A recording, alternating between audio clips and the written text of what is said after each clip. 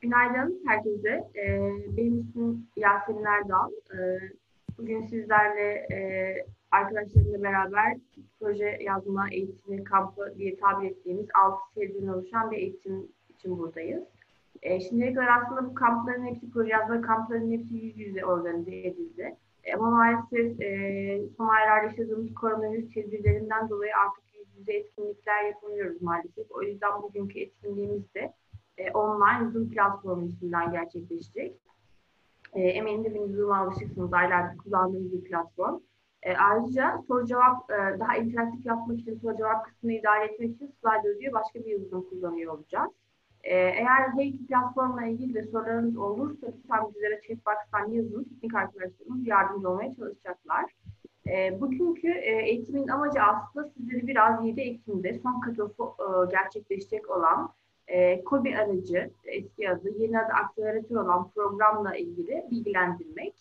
E, 7 Ekim'deki e, katofa başvuracak olanlarınız eminim vardır. E, o yüzden bu etkinliğin önemli olduğunu düşünüyoruz. Eğer e, listelerinizle ilgili spesifik sorularınız varsa mutlaka lütfen checkbox'tan e, sormaya çekinmeyin. E, seans esnasında ya da e, seans bitiminde yarım saat açık olacak platform o esnada. E, tüm e, kayıtlar, sunumlar ve soruların cevapları size eğitim sonunda vereceğim e, web sitelerinde yayınlanacaktır. E, bugün genel olarak aslında proje yazarken odaklanmamız gereken e, başlıklar, üç ana başlık var biliyorsunuz. E, mükemmeliyet, e, etki ve uygulama diye geçen üç ana başlık. E, bu başlıklar altında nelere dikkat etmek gerekiyor? E, teklifi nasıl hazırlamamız gerekiyor? Nasıl rekabetçi bir teklif hazırlanır? Bu konulara değiniyor olacağız. E, bu etkinliğimiz Avrupa Birliği ve Türkiye Cumhuriyeti tarafından ortak finanse edilen Ufuk 2020'de Türkiye Pozitif Projesi kapsamında finanse edilen bir e, etkinlik. E, benim görevim de projede kod aracı uzmanı olarak çalışmak. E, daha önce 4 sene programda Avrupa e, Komisyonu'nda Brüksel'de hakim olarak, uzaktan değerlendirici olarak çalıştım ve projeleri değerlendirdim. E, bugün benimle birlikte burada İngiltere'den e, uzmanımız Philip Soldan, e, Yunanistan'dan uzmanımız Grigoris Hacikostas ve TÜBİTAK'tan değerli meslektaşım Tarık Şahin bizlerle olacak. Onlar da sizlerle sunum yapıyor ve sorularınız konusunda yardımcı oluyor olacaklar. E, yaklaşık 35 tane kaydımız var. E, proje yazma kampı olduğu için e, kısıtlı sayıda e, katılımcıya yer verildi bu etkinlikte. E, o yüzden interaktif olması açısından dediğim gibi lütfen sorularınızı sormaktan çekinmeyin. E, seans kapandıktan sonra yani eğitim bittikten sonra bu platform e, yaklaşık bir yarım saat açık olacak. Bu esnada da sorularınızı sorabilirsiniz. Cevapları daha sonra web sitelerinde yayınlanacak dediğim gibi. E, umarım e, etkinliğimizi faydalı bulursunuz. E, e, dokümantasyon ve e, süreç İngilizce olduğu için eğitimlerimiz İngilizce ama e, sunumlar esnasında aklınıza takılan anlamadığınız bir şey olursa Türkçe sormaktan çekinmeyin ya da sorularınızı daha rahat ifade edebileceğinizi düşünüyorsanız gene Türkçe sorabilirsiniz. E, Tarık Bey ve ben burada Türkçe konuşuyor olarak sizlere bu konuda yardımcı olacağız. E, ben şimdi sözü e, Tarık Bey'e devrediyorum. Tekrar görüşmek üzere. Çok teşekkürler Yasemin Hanım. Herkese merhaba. Ee, Turkey Horizon projemiz kapsamında gerçekleşen proje yazma kampı etkinliğine bütün katılımcılarımıza hoş geldin diyor demek istiyorum. Ee, ben bir e, sunumla başlayacağım. O yüzden hemen e, ekran paylaşımını açıyorum zannediyorum. Evet şu anda galiba oldu. Ee, Yasemin Hanım bahsettiği gibi e, etkinliklerimiz İngilizce gerçekleşecek. O yüzden ben sunum e, sunumda da İngilizce olarak başlayacağım. Ama e, siz Türkçe de sorabilirsiniz. Hiçbir sıkıntı yok. Biz size yine aynı şekilde cevap verebiliriz. Uh, yes, hello everyone. Uh, hello to uh, Philip and uh, Gregory at the same time. As you all know, TÜBİTAK is the national coordination uh, institution of Horizon 2020 in Turkey. Uh, we have a national coordination office which is dedicated to Horizon 2020. Uh, we have a national, we have in this office national contact points working on many different themes under Horizon. My name is Tarık Şahin. I am the national contact point for SMEs. I'm working with Ms. Merve Diyar on the same topic. Uh, the National Coordination Office in TÜBİTAK has an official website, uh, which is named ufuk2020.org.tr. Uh, we use this website to disseminate all kind of information about Horizon in Turkey.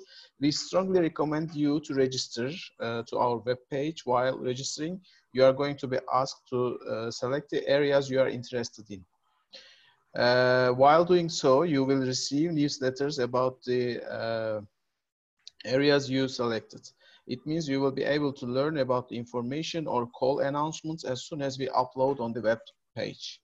Uh, when you enter the website, you can find us under the title KOBİ Destekleri, uh, as you see on the screen, uh, which is shown. Uh, we, uh, we share all information about SME program on this page. You can also reach our contact details on the right side of this page. Uh, as you see on the screen, there is a, a section named Kim Kimdir on, on, on the right up. Uh, contact details of all NCPs be, uh, can be found on this uh, section. Uh, I would like to mention that we are here and ready for your questions all the time. As you know, uh, today's focus is on accelerator program.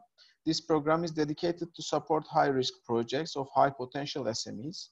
Uh, European Commission is also offering equity uh, in addition to the grant support to your project. Uh, there are very uh, limited numbers of remaining calls uh, under Horizon 2020 because it is the last, last year of the program. And this call is very unique with its bottom-up approach there is no limitation on the team. Uh, the program is going to be covered very detailedly by our experts, so I'll, I will not go further, but uh, I just want to emphasize that the only cutoff date uh, to which you can submit your proposal is uh, on the 7th of October, so I don't want any SMEs uh, we are, which are present here at the moment to miss their final opportunity before the new uh, program. Uh, thank you for listening. I hope uh, that I have encouraged you to take another look at what TÜBİTAK has to offer uh, SMEs, especially on support for Horizon 2020 and Accelerator. I shall be here with the other panel members to deal with your questions later. An innovative, believable, and realistic proposal is essential when you apply for accelerator funding and today's event should help you to achieve this. I would now like to hand over to Philip Sowden, our SME expert on the Turkey and Horizon 2020 project. He will give a brief reminder of Horizon 2020 and accelerator requirements before handing over to Grigori for the main presentation. Flip, floor is yours.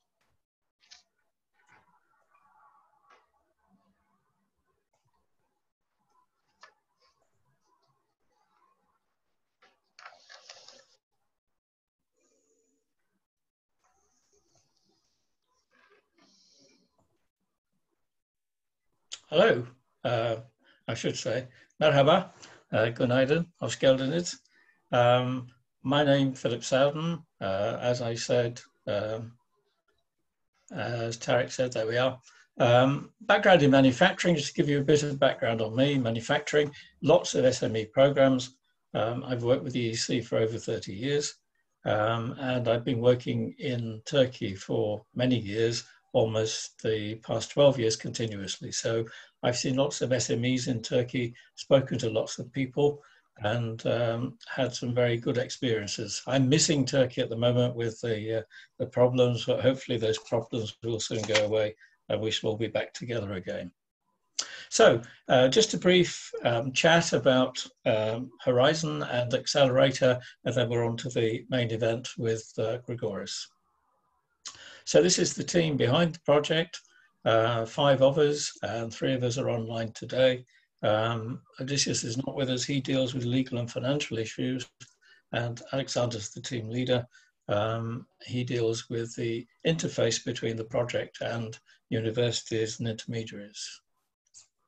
So Turkey and Horizon 2020, uh, this is phase two of the project. We were here uh, for two years before this project. Uh, the key objectives, uh, obviously, to support Turkish participation in Horizon 2020 and to strengthen the national capacity in science, technology, and innovation. Um, we help to do that by uh, facilitating the integration of the Turkish researchers with their opposite numbers in Europe. And we have various means of doing that, which I shall mention in a moment. Um, the project runs uh, around from the 7th of January 2019 and we'll run into the first quarter of 2022. So we're around for a while longer. The activities, um, lots of training events. This is one of them. Um, we have focus groups who deal with particular areas of science and technology. We have events on intellectual property, risk finance. Uh, we run webinars um, and we have uh, lobbying, project writing camps and so forth, this being one of the project writing camps. Uh, networking, uh, major brokerage events with hundreds of people attending to find partners across Europe um, in a more formal way than uh, just through the internet and so forth. It's good to meet people, as we know. Um, international visits to see what other countries are doing on particular areas of technology and again to build partnerships. Uh, we shall have award ceremonies when the situation allows. Uh, we have conferences and info days, various things. Focusing on SMEs, my area, um, obviously SME is very important to the economy. So there's a special set of measures for SMEs, um, one-to-one consultancy, uh, training on project writing. We had an event a few days ago, uh, project writing camp as this one, specifically for SMEs, um, and various means of linking in with the other aspects of the program. And finally, uh, we have various tools available. Our website, which has lots and lots of information, including the presentations today and the questions and answers that we shall receive later. A help desk, if you have any problems, phone in, as well as JubiChat, we can also help. And we have guides on the uh, program on Accelerator, particularly, there's a detailed guide of how it all works. So a quick look at Horizon to remind ourselves, Horizon 2020 runs until the end of this year, so uh, it's coming very close now, and then Horizon Europe will take over for the next six years. People say to me, why should we participate? It can be difficult to get funding. Um, and you know it's not just about funding. I think that's the first point i would make.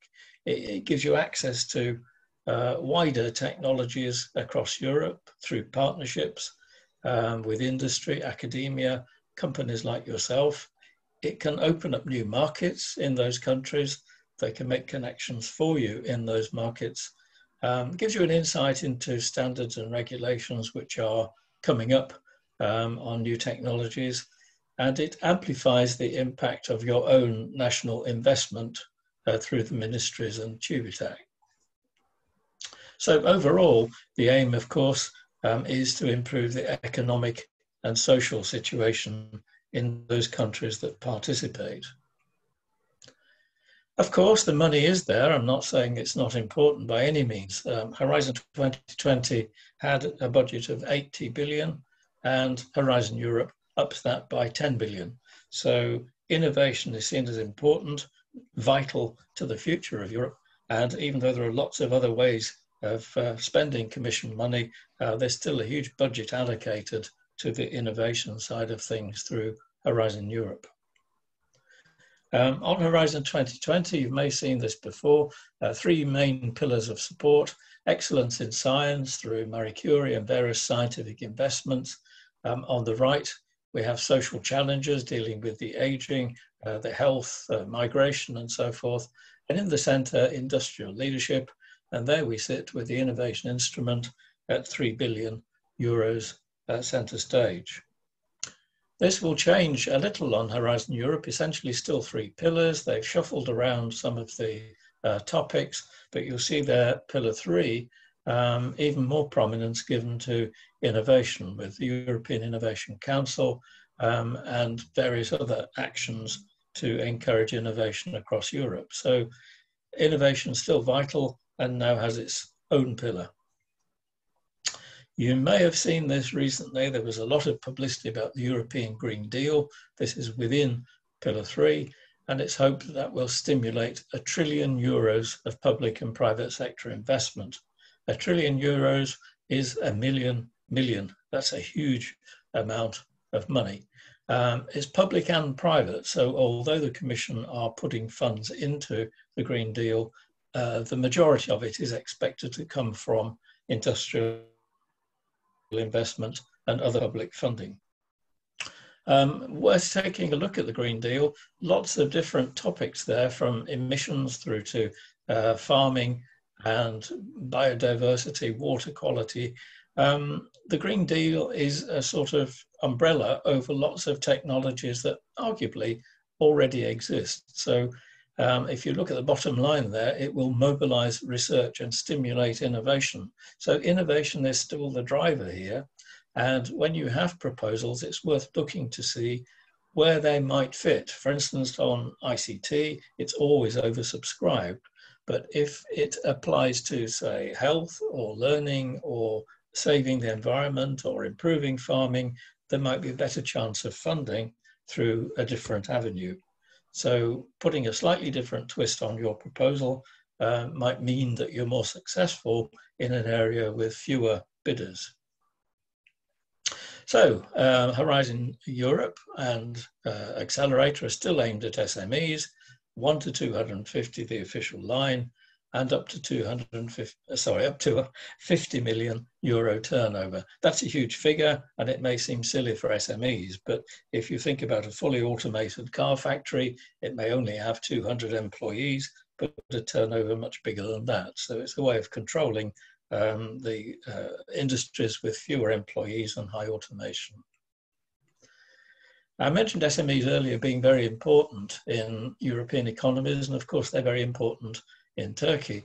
Uh, a lot of um, uh, moves can be pro and against SMEs. Why do we spend on all these small businesses? Big businesses need the money. Well, funding is there for big businesses, but SMEs are very important. And you see there in Turkey, over 90% of businesses are SMEs. They account for nearly 80% of employment and over half of GDP. So they are vital. Uh, and the case is the same in any country. So a quick look at Accelerator then, the SME instrument. There's this confusion goes on between SME instrument and Accelerator uh, because Accelerator is a pilot under Horizon 2020 until Horizon Europe takes over but we don't expect there to be many changes, if any changes. So what's the purpose? Um, you may have seen this Death Valley of Innovation that's given all sorts of names, but um, typically on the left there, you have research funding through universities and major investment through governments and the EU. You remember Pillar One was about excellent science. So you have a lot of investment in research, and then it tapers off as it gets towards development because a lot of it is about blue skies research. And if you look then at the adoption of an idea from research into a commercial product, the commercial side of things only really get interested when it looks as though it's going to be successful. So you may begin with angel investors and then it climbs to venture capitalists and eventually industry will fund it. So in the middle, there's this funding gap. You can see the blue lines there um, where it's difficult to make the transition from research to commercial products. And this is where Accelerator sits. Now, under Horizon, it was quite a, restricted area, uh, you see by the blue lines. Under Accelerator, the line has been moved way over to the right. So the Commission can now invest and link up with private investors and take the idea, the product, well into the commercial stage. So this is a big change and one that companies should capitalize on. I'm sure you've seen this TRL level, technology readiness level diagram before. It was created, I think, by NASA for their space programs, and it, it apportions the different stages of research and idea all the way through at the top there from idea to production at the bottom. Now, Accelerator is interested in six to nine um, six being the minimum, the prototype system, and nine, the full commercial application. Um, Grigoris will tell us much more about this, but it shows that the correct TRL level, deciding which of those you sit in and being honest with yourself, which TRL level, it's very important uh, because when you apply to the Commission, um, you have to agree at the onset whether you're interested in blended finance, which brings in the uh, private sector and the European venture capital funding. Um, you have to consider whether you want to be involved from the outset. Uh, if you are, then of course the investment is subject to due diligence by the funding body, as you would expect. So um, other policy shifts, the, the, focus is very much on commercial prospects. Um, there was mention earlier that the Commission uh, will fund risks. What the Commission like to do is to fund the riskiest part of a project. If you have a project which looks as though it's going to be a huge commercial success, but there's an element of risk that's stopping private investment, that's what the Commission are interested in. And it's important to remember that they are looking at the risky part of investment. They're not the same as any other investor. They want the risk. So emphasize that element of risk and make that the focus of what you're looking for in funding. So the emphasis because it's more commercial, so they're looking at market impact, satisfying market need. They've removed the thematic areas that were there before, where um, they had different topics as themes. The calls are open, they have cut-off dates, and as Tarek said, the last cut-off is on the 7th of October, uh, but then they'll carry on, of course, into Horizon Europe. Um, much more private sector financing and the EC's own venture capital fund, so they can actually invest EC money into a project. They will do this in order to get it to a commercial stage. They're not interested in retaining that uh, capital involvement and making any profit from it. They simply want it to be handed over to the commercial sector. Otherwise, it would be unfair competition, of course. And they see it as overall uh, supporting SMEs that need one last push to get to market readiness. So the funding, um, it can look complicated, but uh, phase one, of course, finished in uh, 2019, the feasibility is the phase two, which is now the only available set of grants. Um, again, Grigoris will uh, talk about this, but 70% up to 2.5 million. And then blended finance kicks in for the higher TRL levels. Uh, there's a phase three coaching and mentoring, which is there for all the successful projects free of charge. And again, a reminder, 7th of October cutoff date.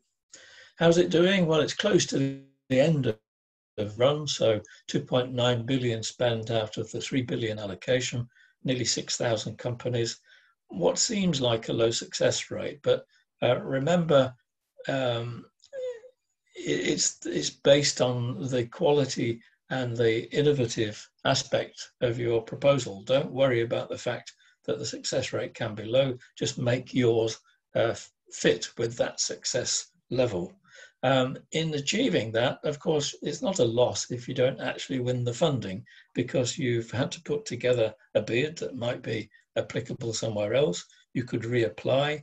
It's also taught you a lot of lessons, I think, about um, getting together a proposal, the finances, doing some strategic thinking, and so forth.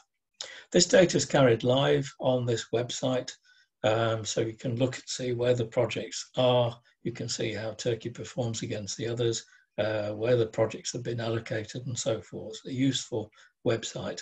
This presentation, along with the others, by the way, will be on our website, so you can refer back to it um, at some later point. So what do they look for in an accelerator proposal? There are six uh, key areas um, listed there from cross-border, high-growth, disruptive, close to market, scalable, and at the prototype stage. Let's just take a quick look at those to remind ourselves. Cross-border is fairly obvious. It has to be relevant to Europe as a whole in terms of innovation potential, job creation, growing the knowledge base. But of course, it's even better if it crosses out of European borders and uh, has a chance of global success. So you must show that it's not just about something for Turkey, it's about uh, something that will apply in other countries across Europe and ideally across the world. High growth, a difficult one, uh, but just being able to demonstrate uh, a good rate of growth. The OECD talk about 20% a year for three to five years. but they also take into account the high growth potential of your project in your company. So uh, that's another way of showing potential high growth. But they're obviously looking to invest in a growing business rather than a declining business. That's the main um, idea. There are then uh, four related areas, uh, disruptive innovation, close to market scalability, and at the prototype stage. Um, at the TRL level six, I've already mentioned six or above. The degrees of innovation, um, I always three acceptable levels, incremental, the small change that growth, step change, which are more significant, bringing in new technology and giving a market lead. But disruptive is the one that the Commission really would like to see. This is creating new markets and value by disrupting the existing markets. So um, I use the camera as an example. Uh, we had film cam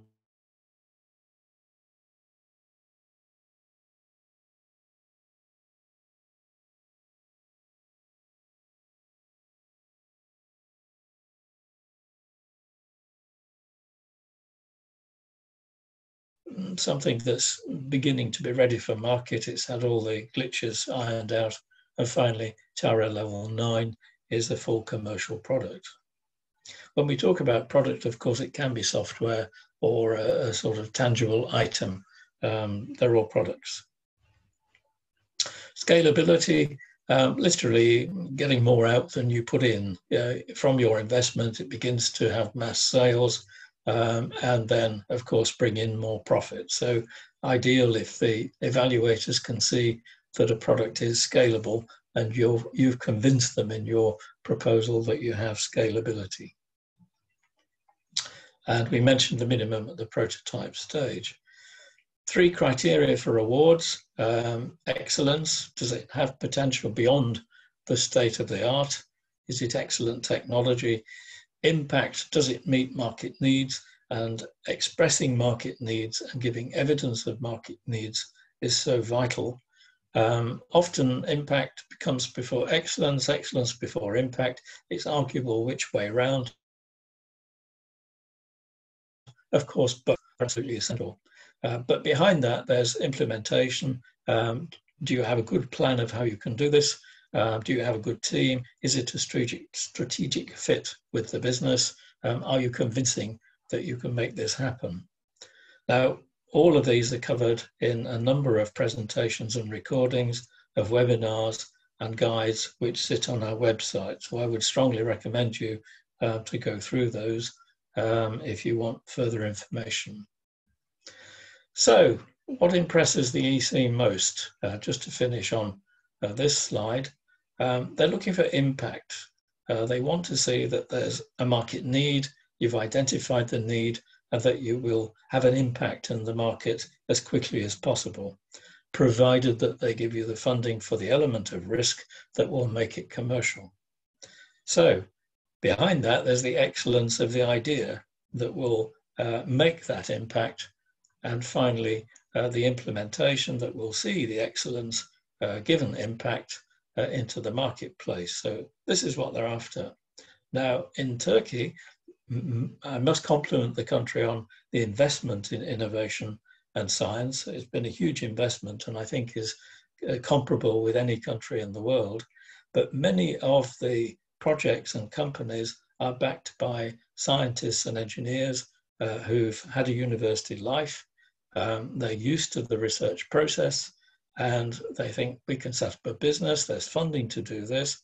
So we know how to do research, we know uh, how to make an idea work through, and we have the team to do it. So let's look for an idea that fits with our way of doing things, um, and we can get grants for that. And often they don't look at the market need, at the impact it will make, whether there's anything else in the market, and whether they could have a place in the market.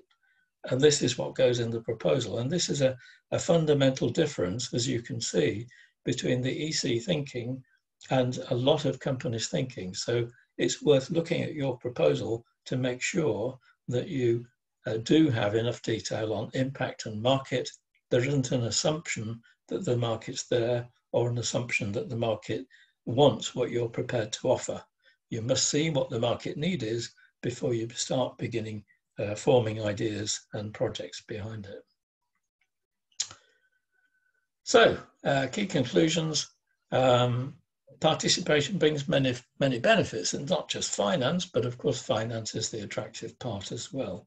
Uh, but it helps you with your partnerships and looking at new technology and all the other things I talked about. It's highly competitive. There are lots of applications for this funding, so you must be the best uh, in that sense. There's no uh, will do, um, it has to be the best. Do focus on the needs before the solutions. It's often the wrong way around, a solution looking for a need instead of a need looking for a solution. Uh, be more aware of the markets in that sense and what the competition are doing, and be realistic about the true potential of the project.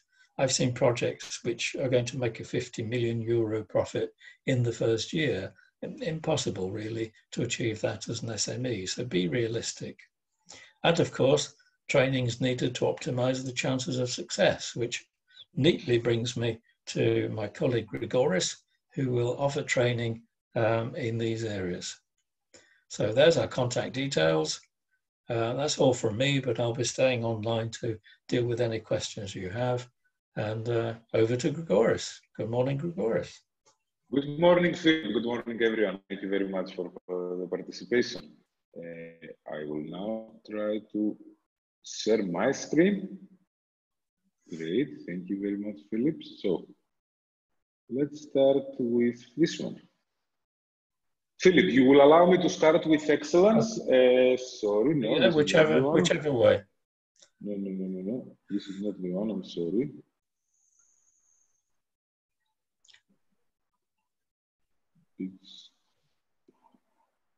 This one. Yes.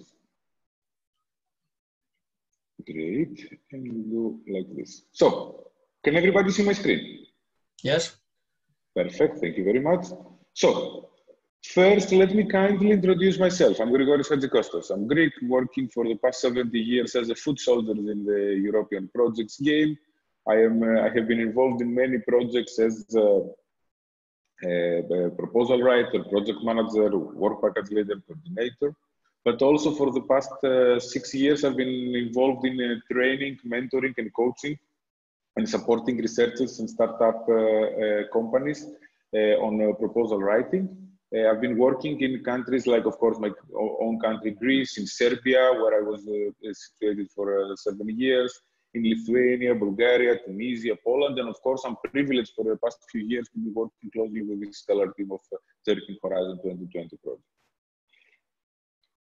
These are some of the projects you will see that I've been involved, and one of the special flavors of the project that I always like is the so-called cascade funding projects. The cascade funding projects look very much like SME instrument phase one in the previous past, as it, they were giving small tickets for companies to develop a prototype.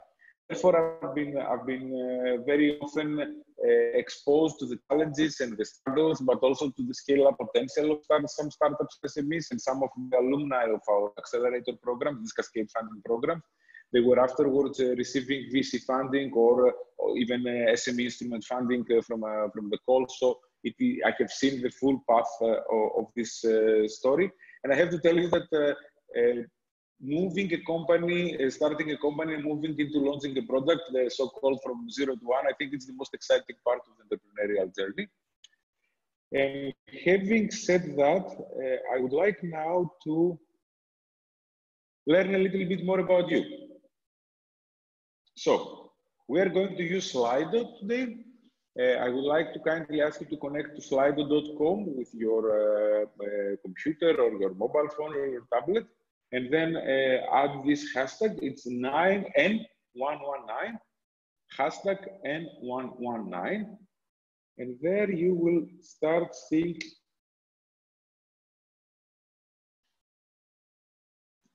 those questions. And the first question I want to know is, since it is a proposal writing camp, I would be very much interested to know about uh, your uh, previous uh, experience in proposal writing. What type of proposals you have been writing in the past?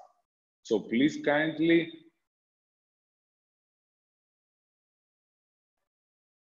give me some indications. Okay.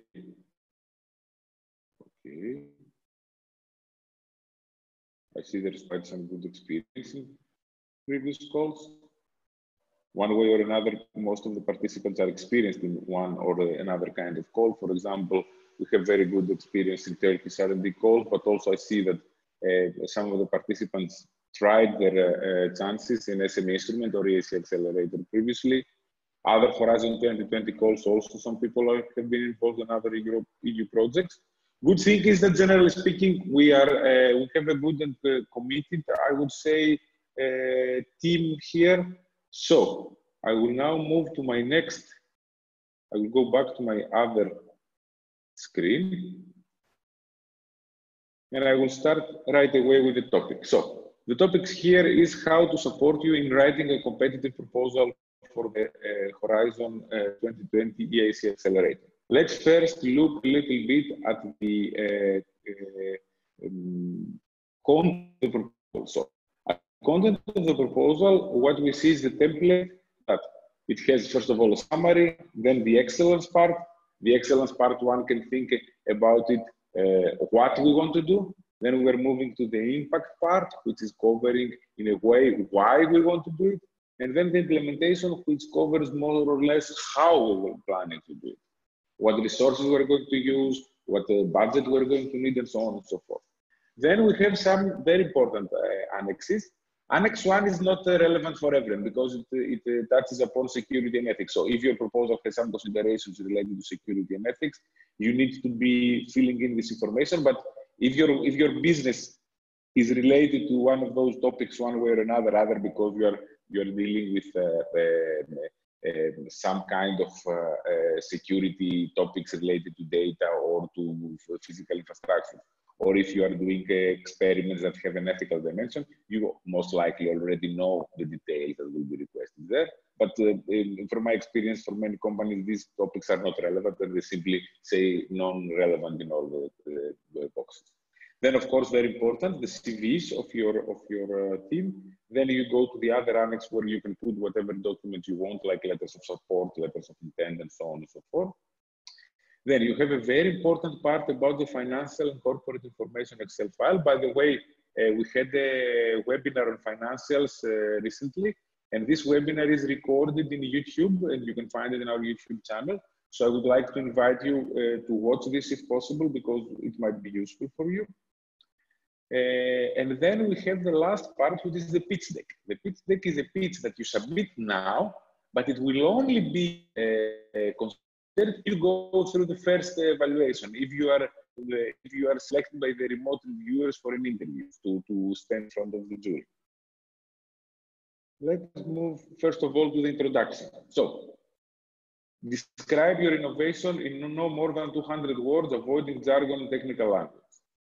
Let me give you a simple example how we can uh, explain our innovation, explain ourselves. Let me, let me talk about myself.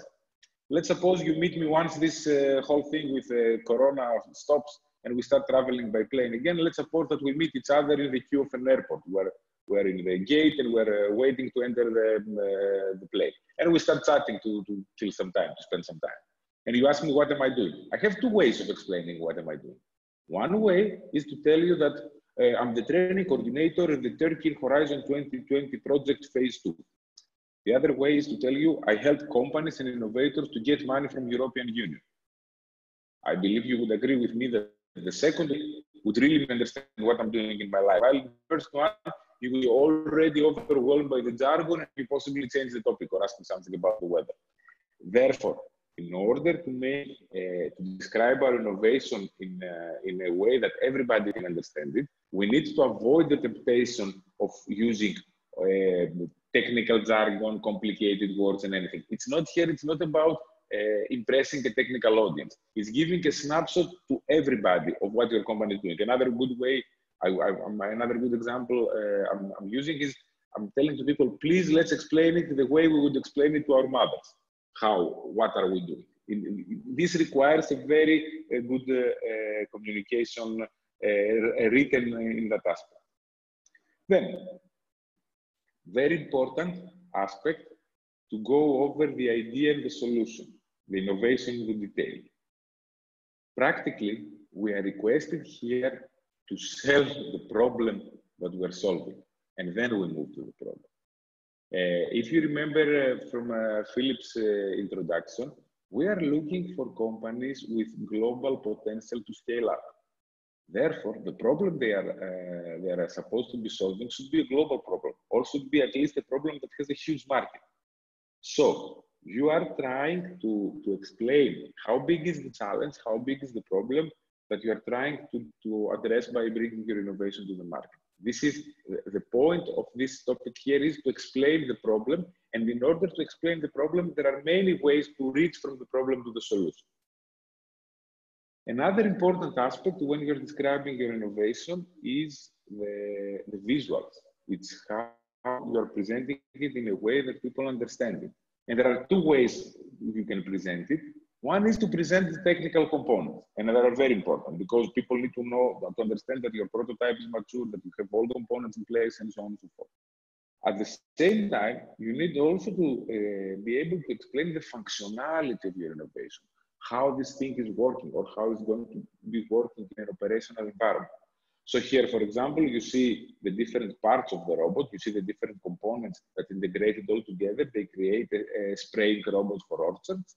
And below, what you see is how this robot is moving inside the field. So you can see exactly how the robot is navigating inside the orchard, how it's scouting and identifying the, the crops that need spraying, and how it sprays selectively on the right spot.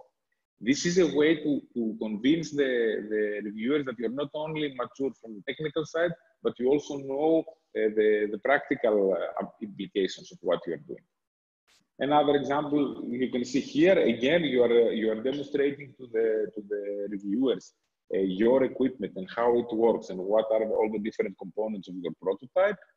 And then we move towards the, uh, the functionality. You explain how this uh, innovation, how this device is supposed to be working in the course of, uh, of uh, the end user's request.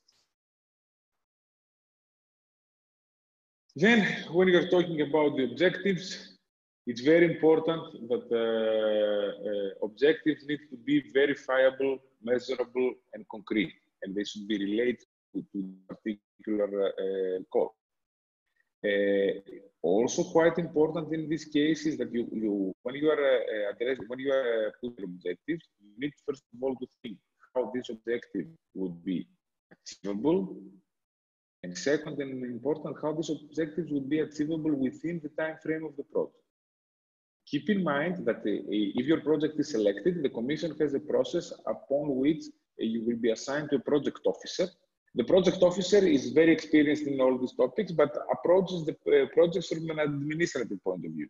So your project officer will also look, always look at your objectives, at your KPIs with related to the objectives, as, as long as you tick the boxes, he or she will be happy. If for whatever reason you don't tick the boxes, you need to upfront understand it and negotiate with them to move the objectives. But in any case, your main uh, your main uh, job here is to make sure that the objectives you are putting in your proposal are achievable within the time frame of the project. And uh, more normally, we start from a very generic objective and then we move towards uh, specific objectives, which are more uh, specified technically. And those objectives need to be connected with concrete KPIs. So here you see the key performance indicators, but you also see the target values related to that. Moving from that, how do we make, how do we convince about the size of our problem? How do we convince the reviewers? How do we convince the, the people who are looking at the proposal that the problem is big? One way to do that is to connect it with, uh, with some kind of consumer survey. For example, we were talking earlier about a, a robot that is uh, spraying on the orchard. Uh, the residues of pesticides in fruit, vegetables, and cereals is the biggest uh, food-related concern of uh, European consumers. And you can always find you can always find the relevant data to do that, to, to prove that. Therefore, it's very important here when you are trying to explain the problem to try to base your argumentation on, on concrete, I would say, data from uh, studies from uh, European uh, Union uh, surveys, projects, etc. People say that uh, if you torture data long enough, they will uh, confess whatever you want them to confess. However, you can see here, for example, the data can also be very useful to make a strong point. So, for example, let's say that the problem is that how we would uh, reduce the meat consumption of, or because of its environmental uh, uh, impact. So, for example, when we're talking about the problem of meat consumption, we can state that in the world, if the world ate 50% less meat, it would be like taking 240 uh, million cars off the road each year. Then if we continue to explain the challenge, we, we need to, un to understand and explain very well what are the sensitivities, what are the complications behind such a statement. For example, how are we going to re remove meat from our diet if we don't find uh, ways to, to uh, replace it uh, with other similar uh, ingredients? Because this will result in health issues, this will result in brain chemistry imbalance, and so on and so forth. So this is how we arrive to the solution. This is how we arrive to the concept, which is the alternative proteins, let's say. So we take, we start from a generic statement, we explain all the controversies and all the all the uh, challenging topics within the context of this uh, challenge, and then we come up with a concrete solution which is related to the innovations that we are planning to introduce in the market. We're planning to launch in the market. Now, in the part of innovativeness, uh, Victor Hugo used to say that all the forces in the world are not so powerful uh, as an idea whose time has come. So here you have two different things. You need to explain why you are better or significantly different than existing alternatives, but also you have to explain why this is the right timing for your innovation. And as you know, many companies fairly fair, uh, fail because they start a little bit too early or a little bit too late. This is the art of doing business. Understand where is the right timing, what is the right momentum to launch your product in the market. Then, when you're comparing yourself to existing uh, alternatives, practically when you're comparing yourself to your competition, it's very good to identify at this stage, here you are, you are kind of uh, uh, looking at the technical features and the price point. It's very important to, to uh, identify your main competitors and uh, on the left, the way I see it uh, in your, your table, you need to explain uh, what are the elements, what are the buying decision factors, what are the factors that influence the buying decision of the customer, whether that customer might be, consumer or B2B or government or whatever. Therefore, you need to identify a few of the uh, decision-making uh, uh, criteria and compare yourself with your competitors based on those criteria. These might be performance related, technical criteria, this might be related to who is the user that is addressed or some feature of the product that is really game changing. For example, if a, if a device that is uh, uh, measuring the quality of milk or the health status of the, cow is hand, handheld, this means that it can be done not in the lab but directly on the field, and this brings humongous benefits to the whole process, plus very important, strong benefits to the ones who are applying the technology. Therefore, you understand that this is a critical factor. So you see here, for example, how in the case of the, of the example of the device that is monitoring the quality of milk, how we uh, compare it with other methods or technologies. When it comes to the timing, there is a very, uh, a very good framework with respect to that. It's the, the so-called innovation hype cycle. Uh, these are the definitions, but instead of, of giving you the definitions, I think I would prefer to give you the example on the, on the screen. So here you see uh, the first column is the innovation trigger, which is more or less uh, the case when one technology is launched in the market and people have uh, start learning about it, start understanding it. The, the, the, mostly it's the most tech-oriented people who first uh, get in, in contact with it, and then they start spreading the news, etc. If it goes through, I mean, if it's endorsed by enough geeks, allow me the term, then the technology goes into the peak of inflated expectations. This is a case uh, where people believe that one particular technology can pretty much solve everything.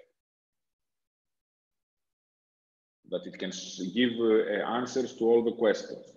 I, I remember I was uh, discussing with some uh, uh, public sector officials uh, of a European country one or two years ago. I was putting them forward some challenges related to economy, and they were telling me, but we're not really worried because we have blockchain now and it will solve all our problems. Don't get me wrong, blockchain is a fantastic technology. It can really uh, change a lot of things in the way we're doing things, but certainly cannot solve all the problems. And this is happening uh, uh, when we realize that, when we realize that this technology can actually not solve everything, and maybe it's not so great, and maybe uh, we need to continue doing things the way we're doing, then we're going into the uh, phase of disillusionment. So we are now uh, learning more about not only what the technology can do, but we start also understanding what the technology cannot do. And this is actually when it becomes interesting, because then it is a good filter. This means that many people who jump into the wagon in an from an opportunistic motives, they would be uh, excluded. In the same time, uh, people who are really serious and committed about developing and pushing this technology forward, they are making advances in the technology, making it more accessible to customers, more affordable, or more useful. And then is when the technology is finally entering the so-called plateau of productivity. This is when the technology becomes a fully commercial uh, idea that the people can use and they can benefit from using it. So, speaking of the timing, the suggestion is that your uh, the, the main conceptual elements of your technology, of your idea, should be somewhere in between innovation trigger and peak of inflated expectation. It should be something that, the, that the, there are many people who see things happening, but also there are still great risks in applying. Because please remember, in this particular core, in EIC Accelerator, we are looking for uh, ideas with uh, potential to scale up globally, but which are at the same time quite risky, because this is the gap we're aiming to. Going now, as we discussed a little bit about the technology readiness levels. What they want here to, to do in the current state of development is they want to understand where are you now and the right position for you to be is either six or seven where you want to go. With the EIC grant only the suggestion is to go toward TRL 8 taxing TRL 9 but when you really want to do part of investment that is uh, indeed on TRL 9 then you need to take advantage of the option for blended finance then they want to see how you arrived here. What was the uh, activities and the results you have achieved so far? Remember, since you are asked to deliver a prototype, to have a prototype for, for a demonstration, it means that you need to explain a little bit how you moved from the idea to the prototype, what type of technical development you did, with what type of customers did you experiment, and so on and so forth. And then also, what are your next plans to take the innovation to the market? Let us see a little bit the current status. How do we explain our current status development? First of all, we explain it with respect to the services or the offer of the, or the uh, functionalities we are offering, or sometimes with the functionalities of the product or the technical characteristics of the product that we are currently having. Then another important uh, aspect that uh, explains our current stage of development is very much connected with the way we are already dealing with problems and with customers. So, in the case of a solution which is about uh, smart agriculture, it's the number of the crops we're supporting, the diseases we're covering, the pests we're covering, possibly what type of uh, pilot uh, uh cases we're running, and what uh, are we doing with respect to customers. And it's also very important to be able to put everything like that in the context of time. Meaning, you need to explain how you started in the past, how you moved forward, how your technology, how your Horizon 2020 project will uh, uh, upscale will upscale your uh, technology readiness level up to eight, and then how you are going to uh, move into the commercial phase. This demonstrates that you understand how to connect the dots not only backwards, but also forward, meaning that you can understand all the stages of development of your own idea and your company until it reaches the market.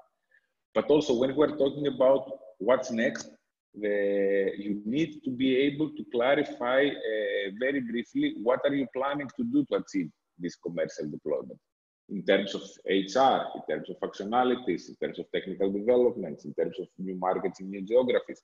These are the elements that will demonstrate your scale-up potential and it, they will also demonstrate your rapid growth DNA. If you're already having plans for the next steps and the next steps and the next steps, this is the type of culture that they're expected to see here. Then we go to the part of feasibility. And uh, when we go there, I would like, I, am not uh, recommending any book, and this is one of the many books that uh, exist in the topic, but I found it quite interesting.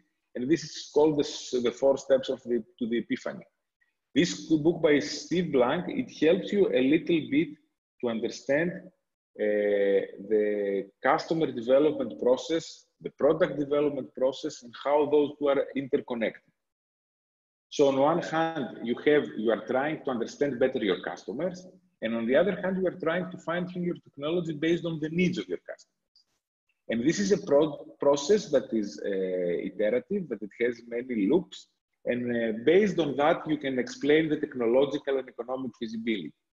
The practical feasibility is your ability to execute these uh, parallel experiments, these parallel activities faster and learn the most out of them. Uh, personally speaking, I'm a, I'm a big advocate of the lean startup methodology. Possibly many of you are also uh, familiar with it. And what I like about it is that uh, unlike the traditional business methods that I was taught in uh, university many, many years ago, uh, this one is not trying to teach you how to succeed, but it's trying to teach you how to fail, but how to fail quickly, how to fail cheaply, and how to learn the most out of your failures. And I think this is the message here that they want to see. They want to see that you have a very good process when it comes to feasibility to get the messages from your customers process it, process them, translate them into uh, requirements of, the, of your product or service, execute the requirements, and then send it back to customers for further validation.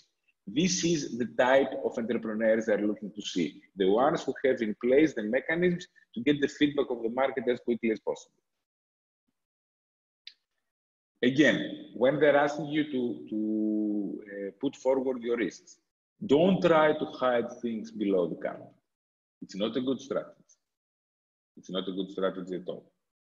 I would kindly suggest you to uh, put the risks forward. They are looking for big, risky investments. They are not looking for things which are like common sense and any investor could understand. The whole purpose of EIC Accelerator is to focus on investments that, if they go well, they will have a huge potential and they will be unicorns and they will create many jobs, but they are in a way, in a, in a sense, the, the typical uh, VC or the typical banking institution cannot understand, cannot, is not, does not feel comfortable with the level of risk that uh, they are offering. And this is, in a way, the, uh, the differentiator of those investments. So, bottom line, talk about your business risks clearly.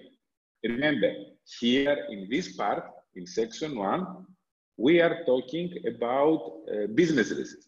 In section three, we're going to talk about the project risk, which is quite different. So here you are talking about business risk and always remember that it's okay for the project to have serious risk. In fact, they're looking for it. They're looking for risky projects with big potential. At this point, I would like a little bit to uh, give the floor to both Philip and Yasemin because we are going to, to look a little bit at the criteria.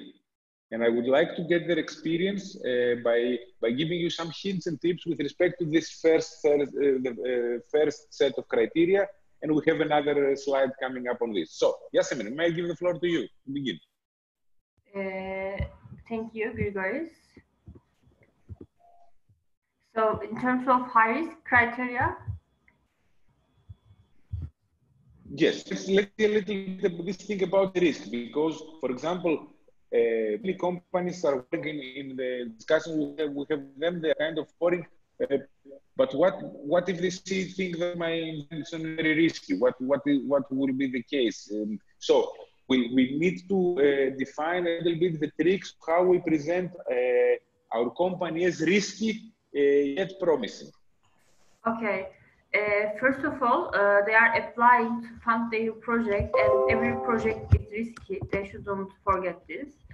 Uh, if they don't mention about the risks, it means that they will not be prepared when risks come. Because uh, as we have seen, for example, in our case, uh, the coronavirus had emerged, and uh, we have we now have to deal with this new environment, and it is actually a big risk for many companies and there may be some changes in the exchange rate, especially for countries like Turkey, which are not using euro.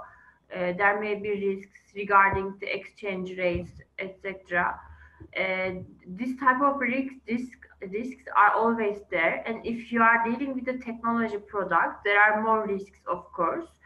Uh, but the important thing here is that uh, they have to think about technical risks, economical risks, social risks, and uh, even environmental risks. And they have to make a plan B. And they have to convince the evaluators that uh, even if these big risks happen, they will be uh, able to deal with those risks, because they will be prepared. Uh, so a good risk assumption and risk mitigation strategy should be prepared. Uh, the evaluators are uh, giving quite high importance to this actually. Thank you very much. Uh, my next question to Philip. In the third criteria here, we, we see the highly innovative solution that goes beyond the state of the art. That's different to anything else we know about. Uh, I, my question is the following. Very often uh, when I'm a, I'm a, member of a jury in startup competitions and uh, the people uh, on the stage tell me that this is something that does not exist in the market, my first question to them is, well, maybe if it does not exist at all in the market, maybe it's not such a good idea. so how do we tackle this issue? How do we, how do we uh, really Eh, differentiate ourselves from the competitors, but at the same time, eh, convincing the evaluators that we are not going to a direction of our own. We are part. We are trying to cover a need that many other people see, but we are covering it in a better way. Do you have some tricks or tips from your experience on that? I, I think being sure of your facts. First of all, as you say, it may not exist in the market because nobody wants it. So the first question is: Is there a need? Um, you know, can you identify a solid need for your uh, product? Now, I've sat with some companies who've shown me their world-beating idea, and I've used my smartphone to check on the web, and I found products identical. So if companies don't even bother to research uh, to see if anyone else makes these things, they're wasting their time in bidding uh, often with a research background, your idea becomes your baby and it's yours and it's protected and there's nothing else like it in the world. Everybody's baby is the most attractive in the world, of course, uh, in the human world. So uh, identifying need, um, getting around a bit. I mean, I, am a great believer in it doesn't cost a huge amount when we can do it to go off to uh, an exhibition, look around, see what's happening, uh, the Commission themselves run innovation days and the uh, research and innovation days coming up. You can um, look and see what else people are doing, look around exhibitions and see, you know, and talk about the need as well as looking at the solutions. So being sure of your facts in terms of the market and the uniqueness of your product. The uniqueness may be that it does a better job, it does a better job for uh, a lower price, um, and you know, I, again, one company I went to, uh, they produced an item. There were only two other manufacturers in the world, one in Italy, one in America. Their product was about 25% of the cost, but they hadn't bothered pursuing it because they didn't think there was a market because these two other companies had the market. But if you can produce something as good or better at a quarter of the price, there is a market. So, you know, it's on price, quality, and uniqueness. Thank you very much, Philip. let's uh, uh, look a little bit uh, more in the other set of criteria. As we said, feasibility, feasibility is a very important uh, aspect, uh, but also another thing that we are always looking. And uh, this is a trick that I have seen. I don't know, Yasemin, maybe you have some experience with me as a reviewer. Sometimes it's obvious in a proposal that part one has been written by one person, part two has been written by another person, and part three has been written by another person. Yeah. It's fine if people do it, but uh, they need to somehow tell a coherent story, which take, takes us to the last point here. At, uh, uh, taken as a whole, at which extent excellence elements are coherent and plausible, meaning that the, the story needs to be solid and uh, connected. Uh, how do we achieve that? What do you think, Yasin? Uh, I think to prove that the product is feasible and uh, to prove the, to the evaluators that there's a demand in the market, uh, close customer interaction is very important.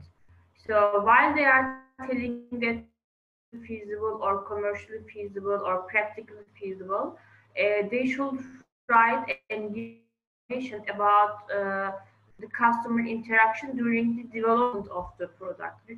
Uh, the companies, especially the technology people, they first develop the product, and when it is finished, when it is ready, they take it to the customer, they take it to the market, but then they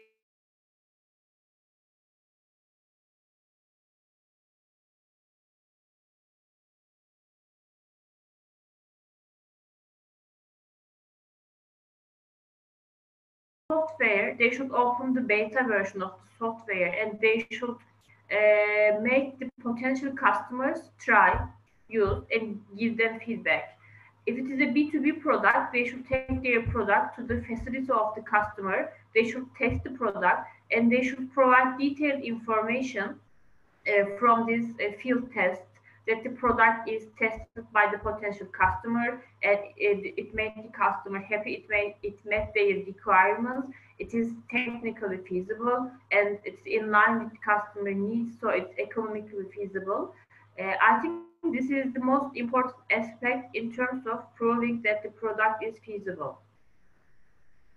Thank you very much, Yasmin. Uh, I would like now to take the opportunity to ask you a couple of questions more, if it's okay with you.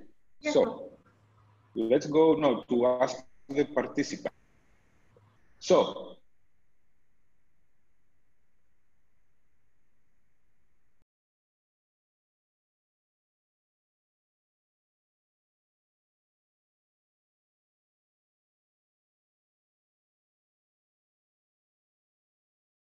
Any other votes?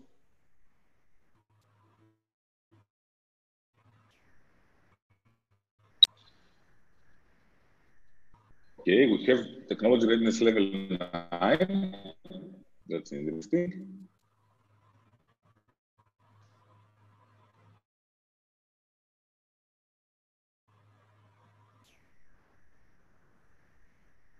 Okay. Let me then leave it for another second. Let us get a couple of answers more. Great. Please continue voting. I will move to the other one. Okay, here you can pick more than uh, one of the statements. Uh, do you have a working prototype? Do you have some initial customers? Do you already have a patent? Do you have already launched to the market? Sometimes you might have customers, but you're not really launching in the market in the sense that you have some test customers, and this is also very good strategy. But sometimes people are putting even a, a product that is not 100% mature in the market exactly because they're expecting to get some kind of uh, customer feedback. okay. We do have some answers there. Maybe a couple more would be good. And then for this, uh, this is the last part of the, of the questionnaire. What are the greatest risks you are facing? And please pick more than one if relevant. Let me see now. What do you consider as the biggest risk that your company is facing?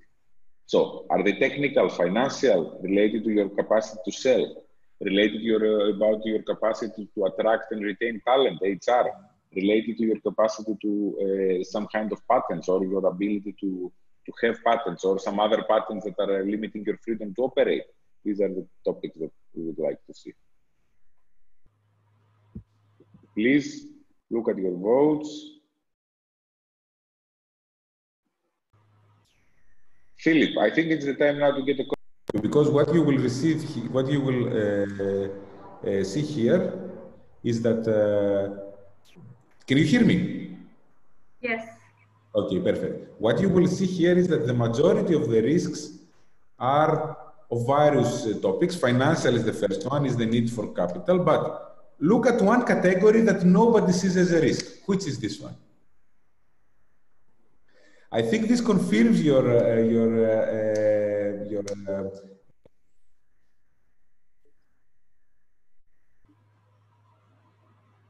And we lost you. We can't hear you, Grigoris. Can you hear me now? Yes. Oh, yeah, I can hear you. Yeah. I was asking, I was mentioning, uh, for me it's quite important that you will see there is one category with zero risks identified, and this is the Yeah. technical. Yeah, In my opinion, this totally confirms your previous statement that in Turkey we normally start with an excellent technical background, we have a very solid technical team in place, and then we're trying to build the market. Whereas, for example, sometimes in Silicon Valley, you see the totally opposite direction. You see that uh, some entrepreneur or someone with entrepreneurial skills gets into an idea and then he's trying to recruit the technical team to build the product. yeah, Uh, so I think that this is a difference in the ecosystem, but I don't consider it as a disadvantage. On the contrary, I think that it, if you combine the technic, the strong technical skills, and you try to use this project uh, in a way to improve the financial risk that we are facing, and also the other things, it's quite important. One good, uh, one good trick that we use in proposals in the EIC Accelerator with respect to that is we are finding some of our competitors we are trying to convince the reviewers that these competitors are not as advanced as we are at the technical level. And then we are demonstrating how high tickets they have raised in the United States or in London or in Frankfurt from VCs. And then we're explaining the financial risk. We're explaining, namely, that we have a very limited uh, access to finance, which is uneven to our technical development capacity.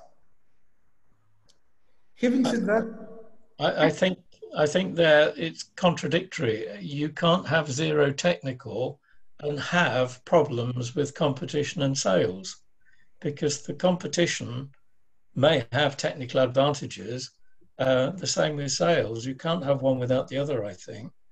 Um, quite often, uh, we've seen projects which um, the management of the company have pursued the science and not the customer need they've excited become excited about the science i have a wonderful example here in the uk we, we bought a, a new electric fire recently and it came with its own samsung notebook to turn it on and off and to change the temperature and they said this is the only one in europe that has this facility absolutely ridiculous two switches would have done the job but you have a samsung notebook you have to keep charged in order to turn an electric fire on and off.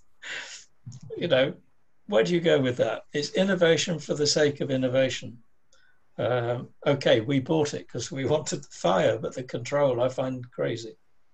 But there's an example of people just pursuing science and technology without looking at customer need. It wasn't needed.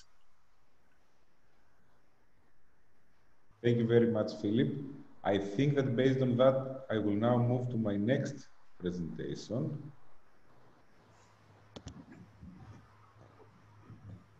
And here we are, this is section two.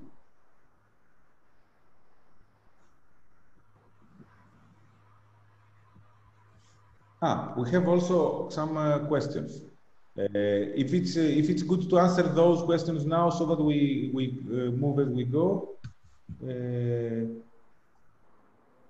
while machine learning is included in the innovation trigger, could the project step by experience in order to predict that big data is a disillusionment? Well, if you have solid, uh, solid arguments to do that, uh, getting that deep into technical matters is something that uh, I think that the people with the technical background have a better view. Generally speaking, I would uh, I would like to avoid very strong statements. Saying that big data is a disillusionment is quite a strong statement. And if you come across a reviewer that is uh, coming from the big data uh, background, you might be um, in a way punished about that. You might say that there are other opportunities opening and so on and so forth. Uh, now, if, if there is any acceptable template to excellent plan and project uh, acceptance, this is for you, uh, Philip. Well, I think this is a question we get quite often. Uh, it's, it's, it's a regular question. Is there a is there a, a, magic uh, pro forma we can use for winning a proposal? The answer is no. Uh, the only answer I would give is that you are giving it in the sense of you're sharing experience uh, on what you find to be good, bad, and indifferent about submitting proposals. It, it all goes into that. Um, and of course, there can't be a pro forma for this because every idea is different, every market's different, uh, every ways of presenting is different. So the Commission give really good guidance on their website on what they expect to see in these different sections, and Grigoris is building on that with his and our experience. Um, so I would recommend looking at what the Commission have. If you look on our website, there's a guide to submitting a bid, which is about 30 pages long, uh, and again gives indications of what the Commission expect. Um, but there is no magic formula, I'm afraid. I wish there was. Thank you very much, uh, Philip, for the answer. And now we are moving to the next part. And I hope you can all see my screen. Is it correct? Yeah, can see. Yes. So, market. Market. Obviously speaking, we're talking about close to market products. So the best way to convince that you are close to market is to demonstrate how well you know the market. Uh, so here we're not talking about uh, describing just the market assessment, meaning just to depict the market as it is now, but always we are trying to uh, present our market as a growing market. As Philip said before, nobody would like to put their money into a market that is going to go down, that is going to be diminished later on. So, for example, if we want to explain our market uh, in, the, in, the, in the perspective of time, it's good to show how the market is going to grow, but it's also good to, to know the different segmentations within our market so that we understand that what is the cumulative growth rate within the subsegments. Let me give you the example here. The proteins market in total, the, the meat market in total, let's say, would grow by 3% in the next uh, 15 or so years. But within this uh, market segment, the conventional meat will actually uh, uh get smaller, will go down, will decline by 3%. The, uh, the plant-based replacement will go up by 9%, and the cultured meat, the lab-grown meat is expected to grow by 41%. So sometimes, even if your market is growing at a rate which is not abnormal, it might be useful for you to demonstrate that you have a high growth rate within your subsector. And of course, then you need also to talk about customers, unique selling points, and differentiators. Let's go to those one by one. So Many of you will think that TAM SAM SOM is some kind of mad scientist from North Korea, but in reality, this is a framework that we use to understand the size of our market. So, TAM is the total available market, stands for total available market. And the example here is the total agricultural robotics market, like uh, we discussed before. The SAM is the serviceable addressable market, is that the market that uh, is, uh, is uh, representing the technology or the services that we are uh, uh, selling, we are producing. For example, the total market for spraying robots, the, the robots who are spraying pesticides on the field. This is our SAM. And then the SOM is the serviceable, obtainable market, is the part of this market that I can realistically address to. Obviously, there is a very good market in Australia about these topics, but I'm, I'm far away from Australia and there are other companies doing it there. Obviously, there might be a very there in China, but I cannot export to China for these batteries. So, technically speaking, the SOM, the serviceable, obtainable market, is my realistic goal to sell the spraying robots to farmers. Which are the, the, the geographies, which are the places where I can really get in. Uh, Grigoris, may I raise a question here on behalf Yes. of participants? Because this is a question uh, I get very often and I'd like to hear your opinion as well. Uh, regarding these market figures, it's very important to give some numbers about their potential market size. You are right. But sometimes uh, it's hard to access to these figures, these statistics, you know, about the potential size of the market. And even if the product is very specific, it's even harder.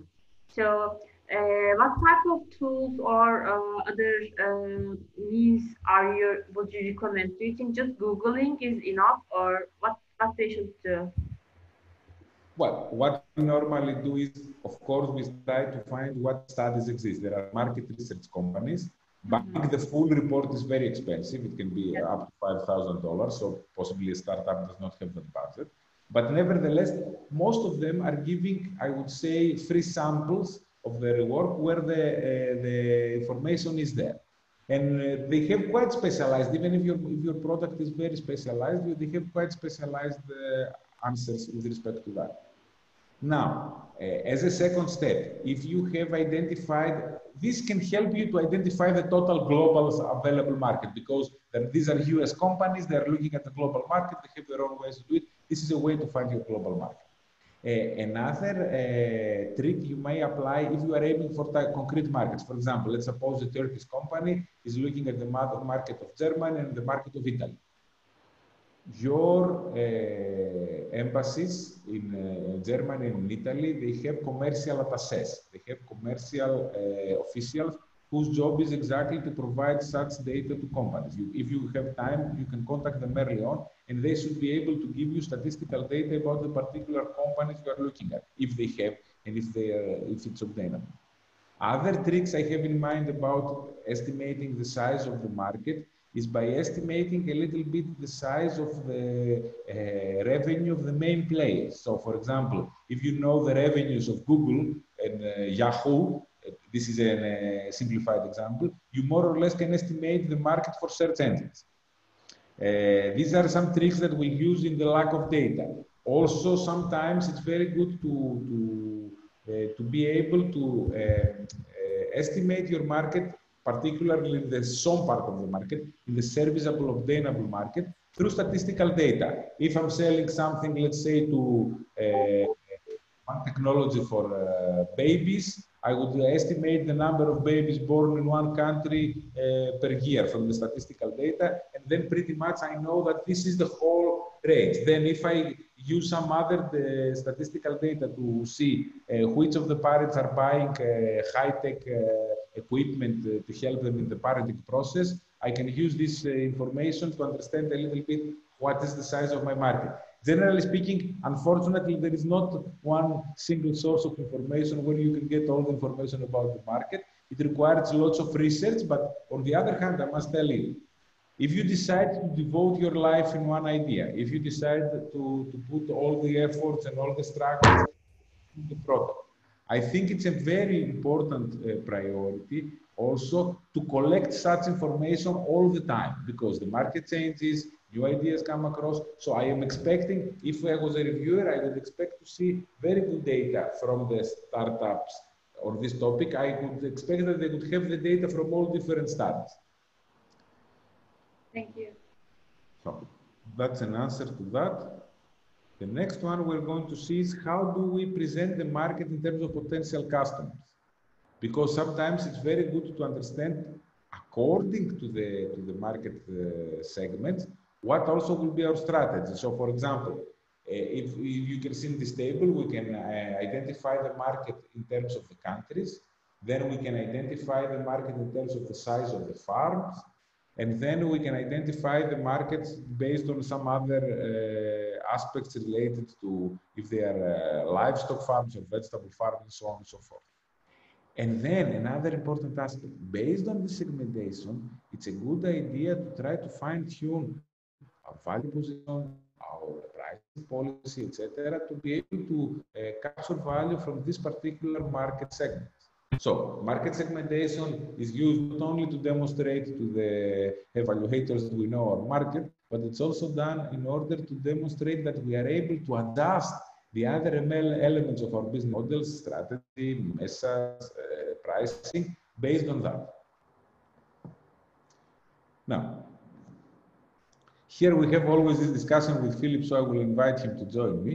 Uh, it's about the unique selling point. And uh, as the English word says, the unique selling point is supposed to be unique. This is the one thing that will make your cust- the customers buy from you.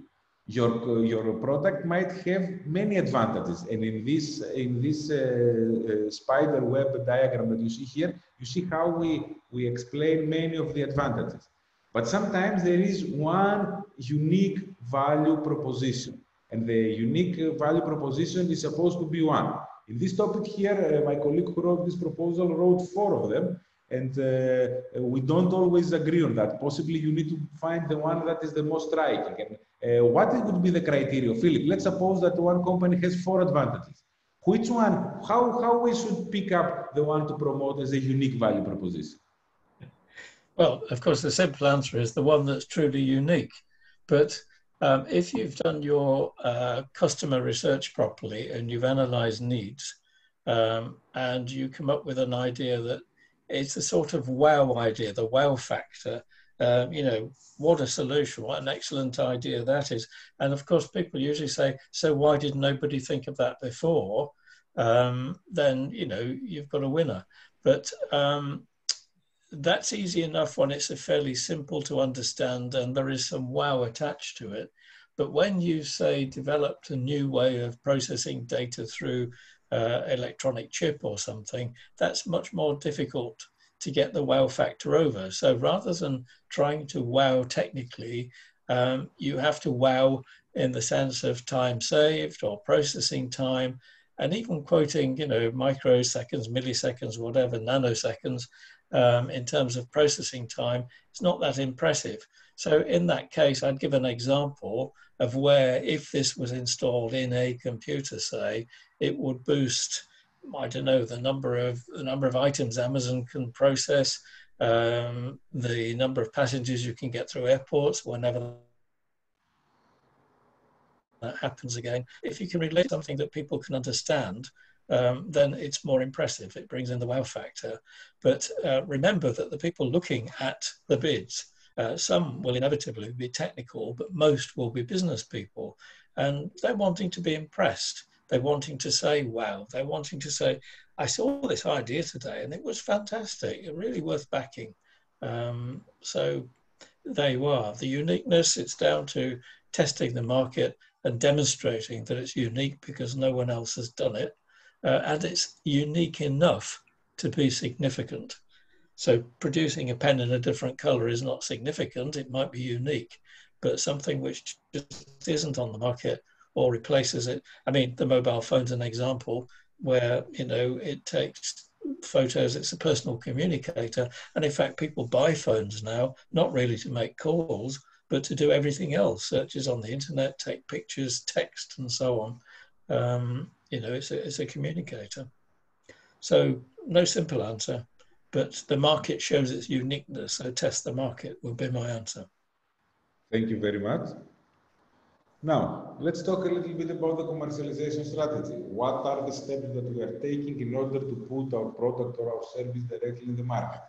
Which is, uh, has to address, of course, our strategy as a company, but also the framework that is created by government or regulatory uh, organizations with respect to approvals or compliance as needed. The time to market, how much time we need from the day that we have the huge product according to customer specification until the time that we're going to deliver it to the customers. And of course, the revenue model, which is a simple, uh, in simple terms, is how we're going to make money for us, for our company. Because that's also something they want to see. They want to build profitable companies that will yield high returns to their founders. So the commercialization strategy, generally speaking, there are different elements of the commercialization strategy, and I use this example to highlight them. One is the time. By time, I mean the evolution of an idea uh, and the various prototypes until you reach operational conditions and until you reach commercial conditions. Uh, in this aspect, you need also to identify the different stages of development that you are doing. And then you have to explain also the capital sources, how, where you are financing them, and where do you expect the re revenues to come from. It's a good idea, as you see here, uh, that uh, this can be depicted also in the, in the analytical framework of technology readiness levels to see how we're moving until one technology readiness level, but still, and this is something that we learned from the Japanese about the continuous improvement, that even if you reach a technology readiness level 9, you just don't step back and enjoy and wait for the product to sell. You continuously try to improve the product. You are all the time getting feedback from the customers. You are all the time measuring the performance of different aspects of your product in order to bring the value, more value to the customer, even if your product is already launched in the market. So these are the things that people need to understand. And, and also it's important in your commercialization strategy to be able to identify the different steps and to demonstrate that your strategy is adjusted to each step. For example, if we are, uh, we are uh, developing some uh, technology that has lots of trade secrets, that has lots of interesting things that our competitors might like to copy, etc., we might want to go into stealth mode up to a point. But if you're going and asking for, uh, for investors to finance your uh, Series A or to give you a big ticket, and you're telling them you're on stealth mode, that's why nobody knows about you, that's not a good strategy. So the strategy needs to be adjusted according to the timing, and we need to be able to demonstrate that in different stages of maturity of the product, uh, when it comes to its commercialization, we apply different strategies. Revenue model, how we're going to make money revenue model is uh, practically you have the typical revenue model, for example, from software that is like services, product, subscription, uh, buying licenses, etc. But what happens when we have hardware? There, the revenue models might be a little bit more complicated. Of course, the obvious revenue model is to sell the hardware per se. But nowadays, when we're going for hardware, which is more uh, uh, related to tech, to technological uh, uh, advancements, we see some more clever business models. One is the so-called hardware as a service, and there is this company acquired by Cisco Meraki. I think Meraki is a Turkish word, am I right?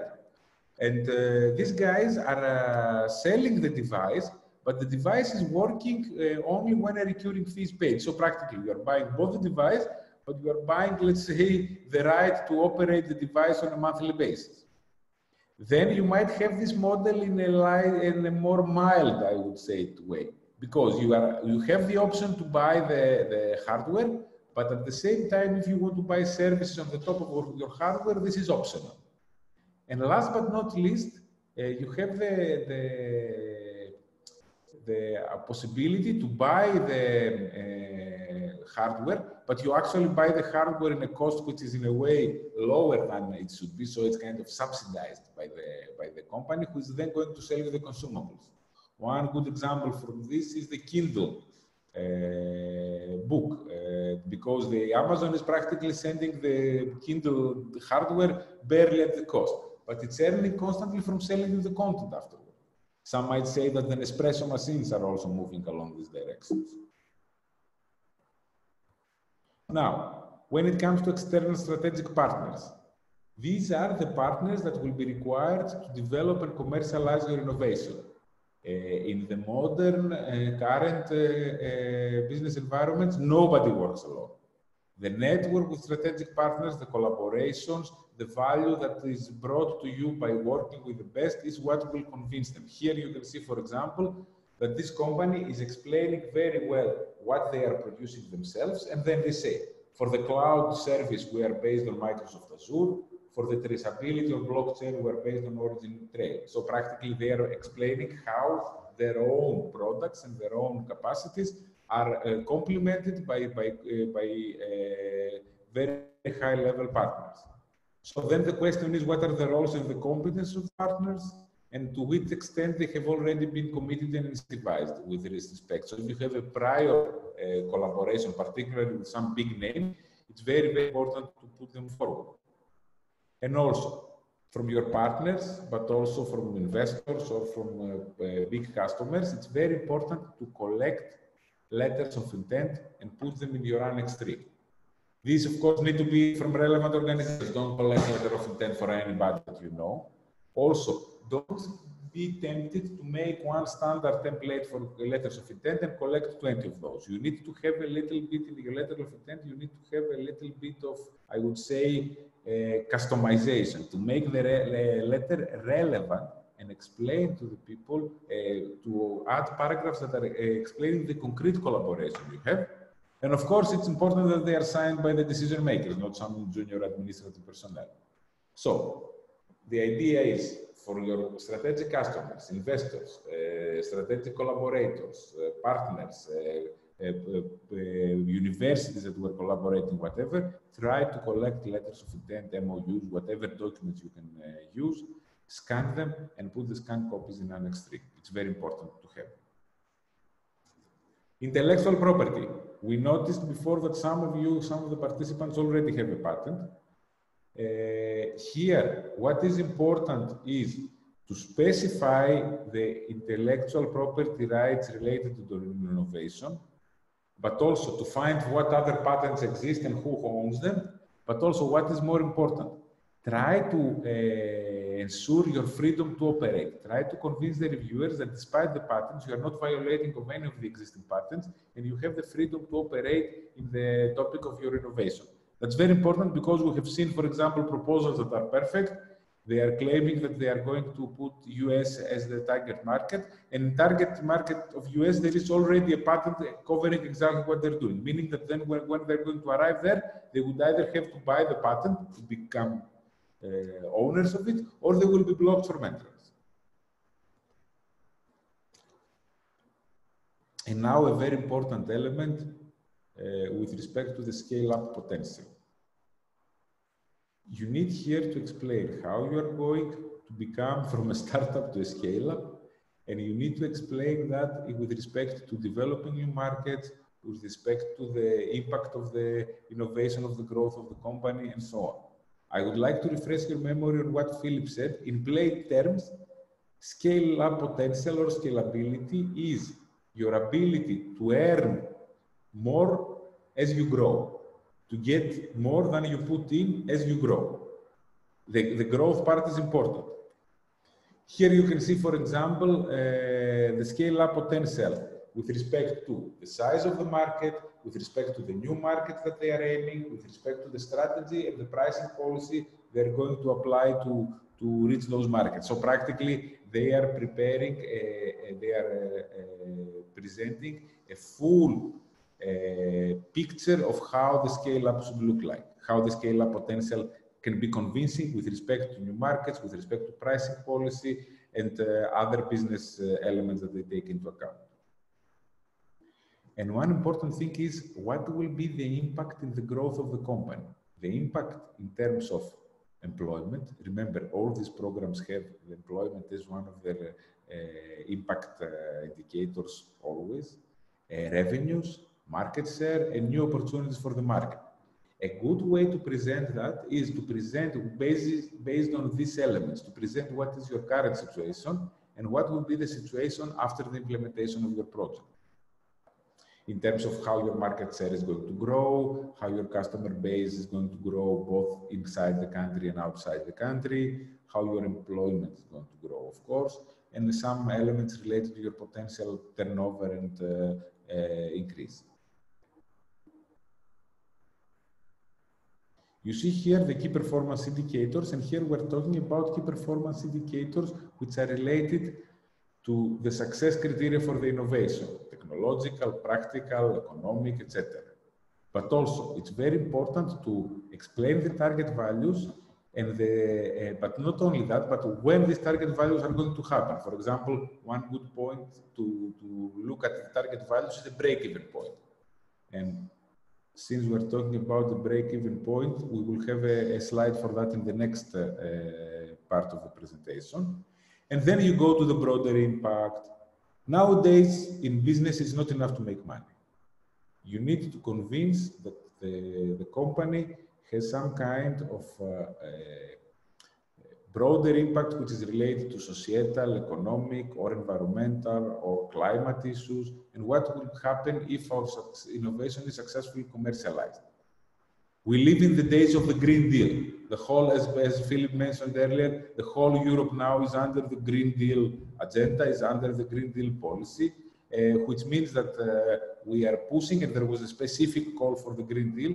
We are trying to push as much as possible that uh, the innovations that will be put forward in the market will also have a positive impact on climate change, a positive impact on environment, and a positive impact of the quality of the life of the citizens. So this is an important uh, aspect that we need to take into account. Arriving to that, we have now to sum up with the criteria. First question going to Yasemin.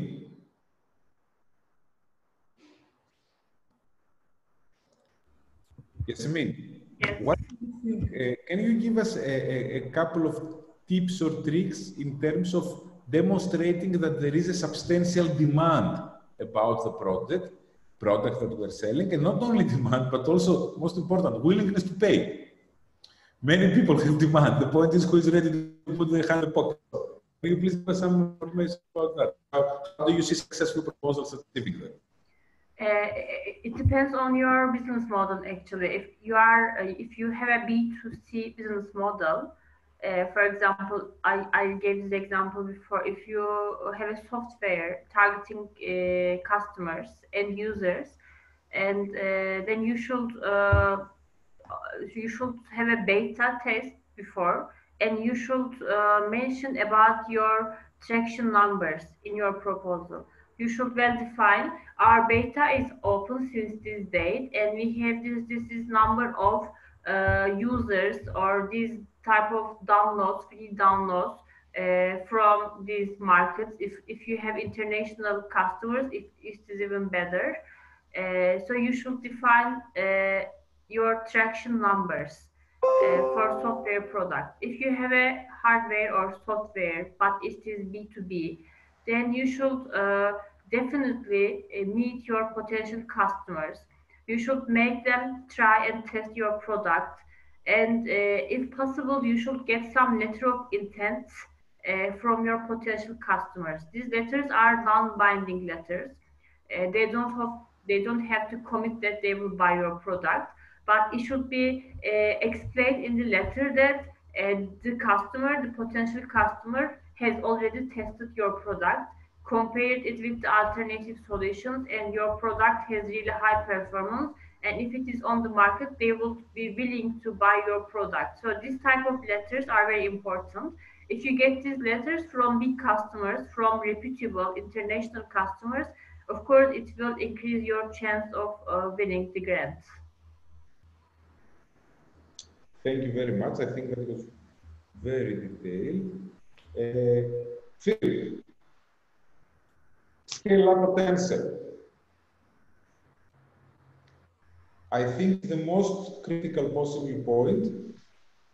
So I would like to ask you, if possible, if your connection is good, uh, how can we connect the uh, scale-up potential with the financial needs? Because we have noticed in the past, I remember from our discussions, that sometimes people are they, they're trying to be very careful not to ask for big budgets and this and that, but this actually undermines the potential to scale up. So, what is the what is your idea about that? Well, the, the, the feedback we get um, from the Commission is that um, often companies are reluctant to put realistic figures in.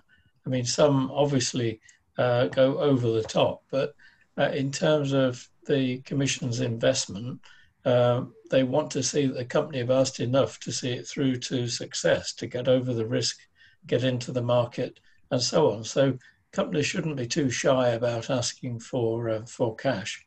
And of course, in Turkey, costs are perhaps lower or are lower than other countries. So um, explaining what's needed um, is very important and being realistic about it in terms of the amount of time it will take to realize profit. So all I would say is be realistic, be sensible about what you're asking for, and don't be too shy. Thanks a lot. I think that's a very critical comment.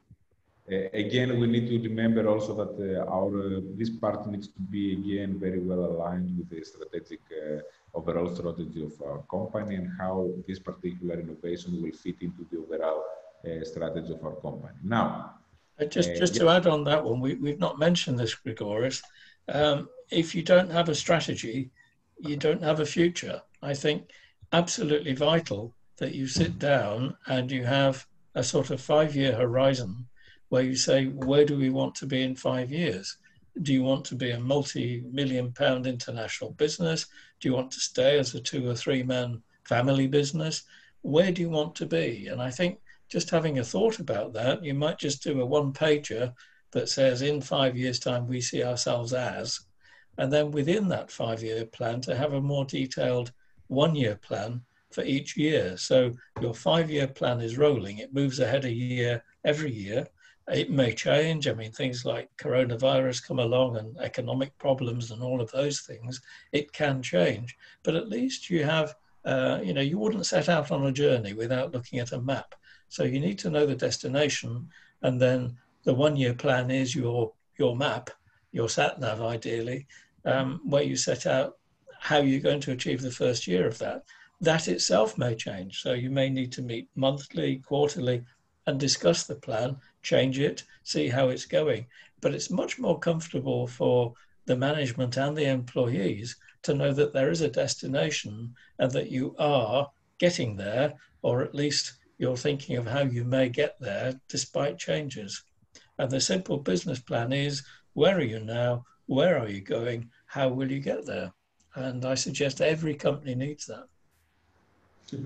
Indeed, and possibly this is one of the collateral benefits of getting into writing a proposal because as you said, success rates might be low, but the value you are getting through this process might be beyond this particular call. Yeah. Now, uh, do we have any questions that we need to answer or should I go to our poll? They've been answered as we've gone along, but people can ask them. You're amazing. Let me go then to the polls. And then the next question that we have is, first of all, to the participants. Have you performed already a detailed analysis uh, of your market, your target markets? By collecting data, by talking to customers, by going to the statistical services, by finding uh, a market uh, research available on the web, etc. Let me see a little bit how we're doing with that. So far, I think that we're still in the process. Okay, that's positive because I have news for you. No matter how detailed your mar target market analysis would be, you will always need to be in the process. This is not a situation that finishes. Uh, every day you need to continue collecting data. Possibly the thing that you need to organize and make it systematic is a, a process of constantly collecting data about your target market because this is supposed to be your uh, your main job when you want to launch products. Let me see a few more votes.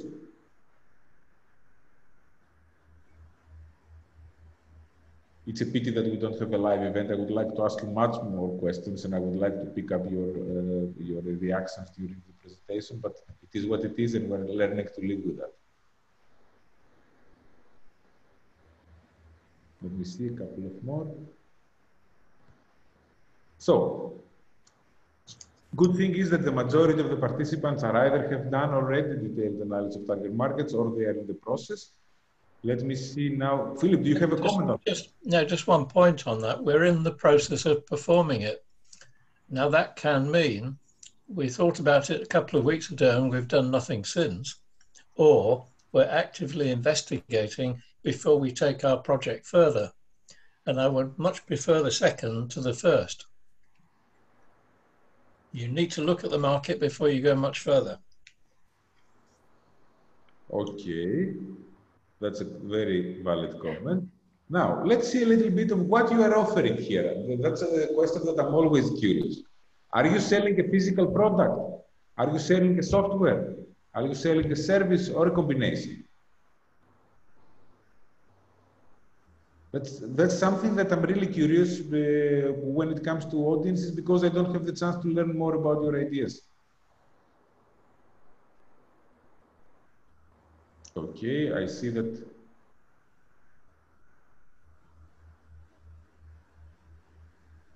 Let me see how many.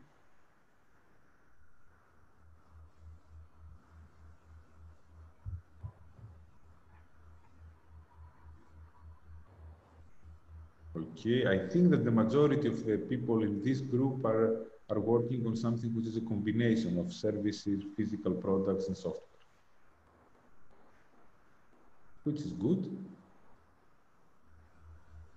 It means that you can have uh, different revenue streams. It's also interesting. Okay, let's move to the next one. Now, how are you protecting uh, your IP? Do you already have a patent? Are you in the process of obtaining a patent or your uh, innovation is not patentable at all?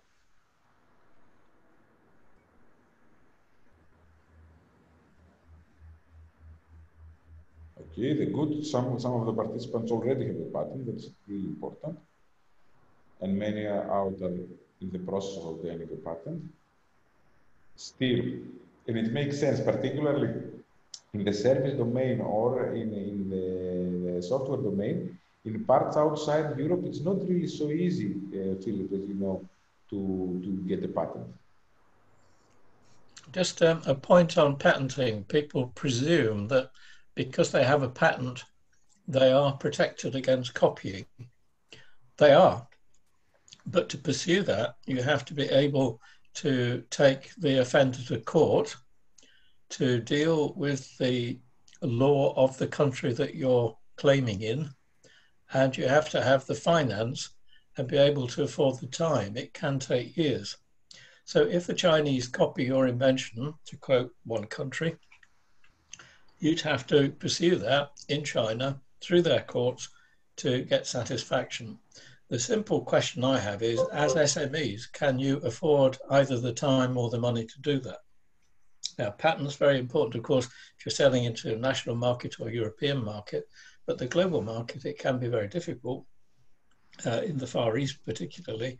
And um, I would say that the effort is best put in getting your novel idea into the market and winning market share than to spend weeks, months, years uh, trying to fight a patent that you have no chance of winning because meanwhile the copyist is selling and making profit from your idea. So it's in their interest to delay it and patent lawyers cost a lot of money.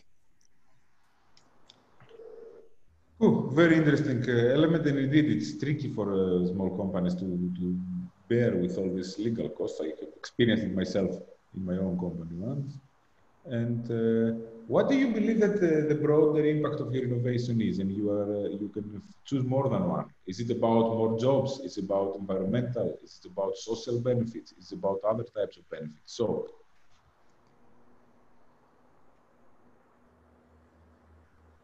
Let me see a little bit your reactions over there.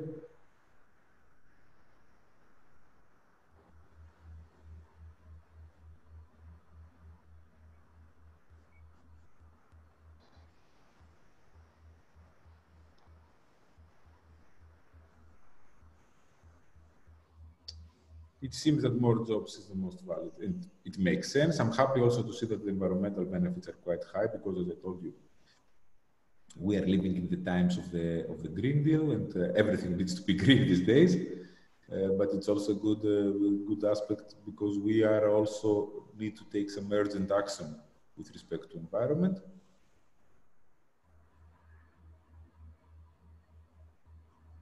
Okay, I will now stop sharing my screen in this presentation. There is a question. Uh,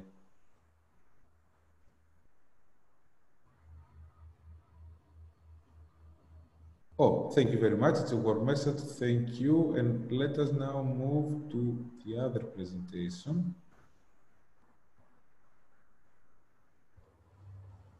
Which is the last part of our discussion, and this one has to do with the implementation part. So, I will share my screen with that.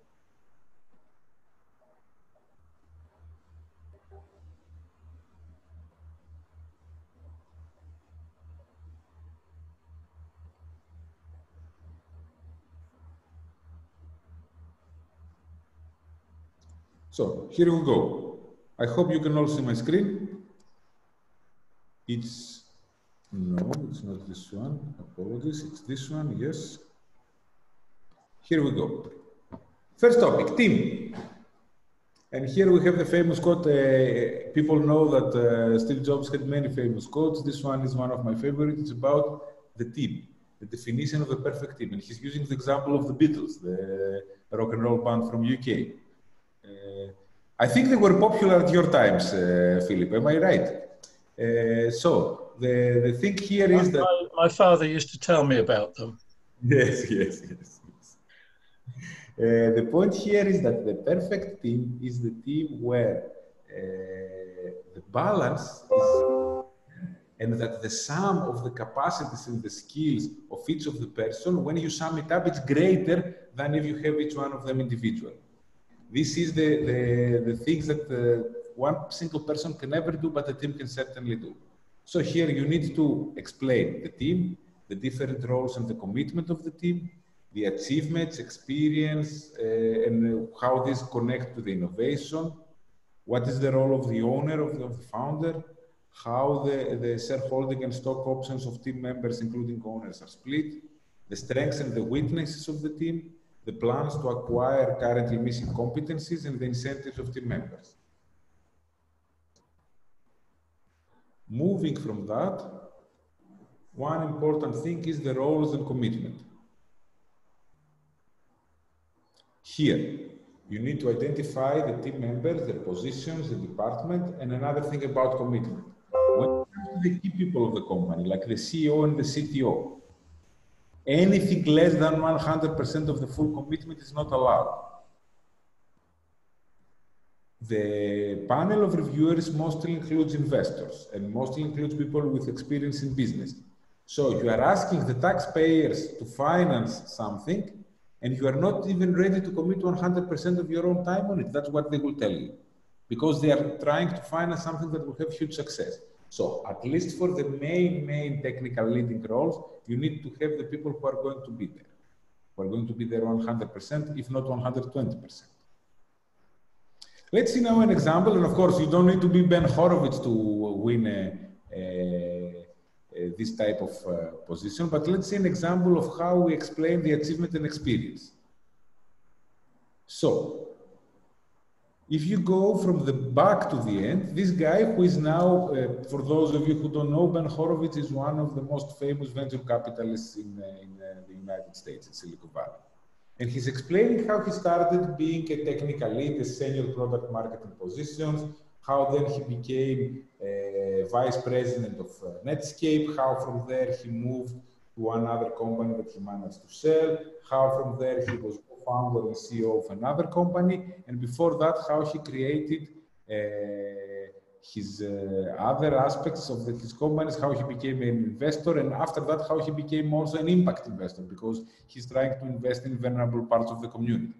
So the bottom line is, if you're presenting your story, make sure that what you are presenting is relevant to the current innovation and that you are telling a story of constant advancement, of constant development. You're telling a story of moving upwards the, the corporate ladder, that you're making a story of you being able to put yourself out of your comfort zone and assume better and better roles in every uh, position. And also try to tune it with the position you are assuming. So if you want to, to appoint someone as a CTO, it, what you need to, to demonstrate is his or her technical achievements, the technical advancements that they made, and stuff like that. Then, let's go about how this should be split.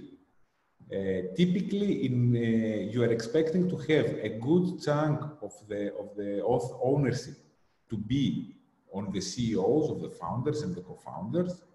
You expect the key people in your company, and this is one of the incentives that we're going to see elsewhere. We expect the key people in your company to be properly incentivized, and by incentivized, I mean having shares in the company. And last but not least, you need to keep a slice, and this slice would be the so-called option pool. What is the option pool? Option pool is some shares that you keep aside for the new talent you are going to hire. So let's suppose that your company goes very well and you are now ready to launch to the United States and you're looking for a, a sales director, a, a, vice president of sales, however you want to call him, for the American market. You are looking for someone senior who is earning already a lot of money in his job, who knows the market, who knows his way, and so on and so forth. How are you going to incentivize this person? Sometimes salary is not enough. That's why you are keeping the option pool, and this is a part of the shares that you are going to share with people who are uh, required for your team, and you don't have the uh, capacity to bring them on board only with monetary uh, rewards. So normally, let's see a little bit the, how you the, the uh, rates. Uh, what we expect to see is that the founding CEO uh, should have a, 30 to 60 percent. You might have some active founding scientists, and this might be your CTO, or you may call them chief scientists or whatever. And then they should be having a very good uh, uh, percentage themselves because they are the technical cornerstones and the foundations of the company. And then you have the so-called passive founding scientist. This is the people who possibly helped in the beginning to kickstart the company. This might be a professor that was the, your boss in the lab when you established the idea, and you want to put them in the advisory board. These people should have shares, but these shares should not be above 5% by any means, since they are not involved on the day-to-day -day operation. And then you have other people, and you see here, you see some industry standards. This is, this is not carved in stone, don't take it for granted. This is just, uh, we are depicting here what happens in the market, what are the typical market conditions for that.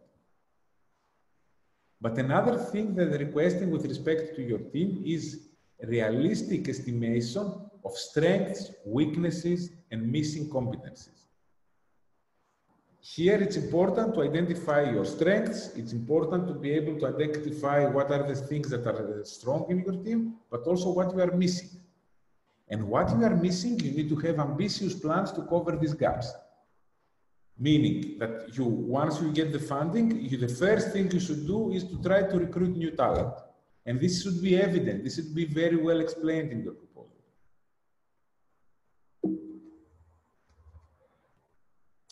Now, let's talk a little bit about the incentives. Uh, obviously, there are the financial incentives, uh, salaries, stock options, bonus based on targets, and bonus is a very good way to motivate against salespeople. Also, some other financial incentives that they're giving sometimes coupons or whatever. But many people say that money doesn't bring happiness. So uh, there are no financial incentives that might be very important for people. Uh, flexible working hours, uh, a possibility to travel, to have trainings, to have workshops, team building activities like barbecues or uh, joint sport activities. Sometimes, again, for salespeople, what is very important is a company car.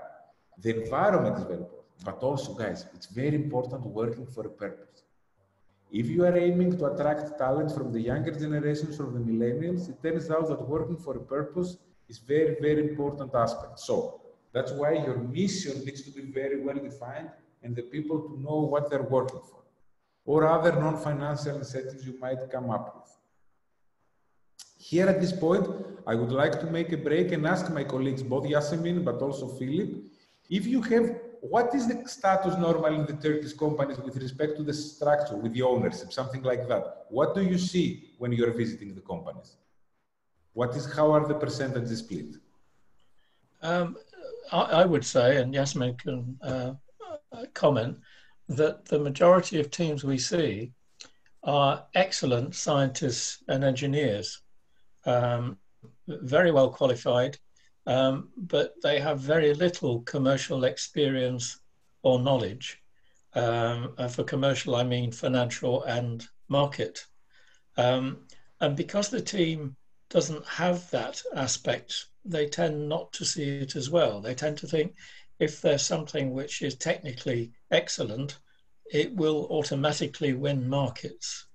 Um, and even in some of the proposal I've looked at, um, we tend to be very proud of our achievements. So you have people with lots and lots of uh, academic qualifications um, and projects you've worked on that were high technology, but all of that does, okay, it shows how clever you are as a team, but the more you talk about how clever you are, the more it's evident that you don't have the other factors like commercial and marketing experience. So it comes over as a high technical team who are academic, but would it stand a chance as a business? That's the question that they will be asking.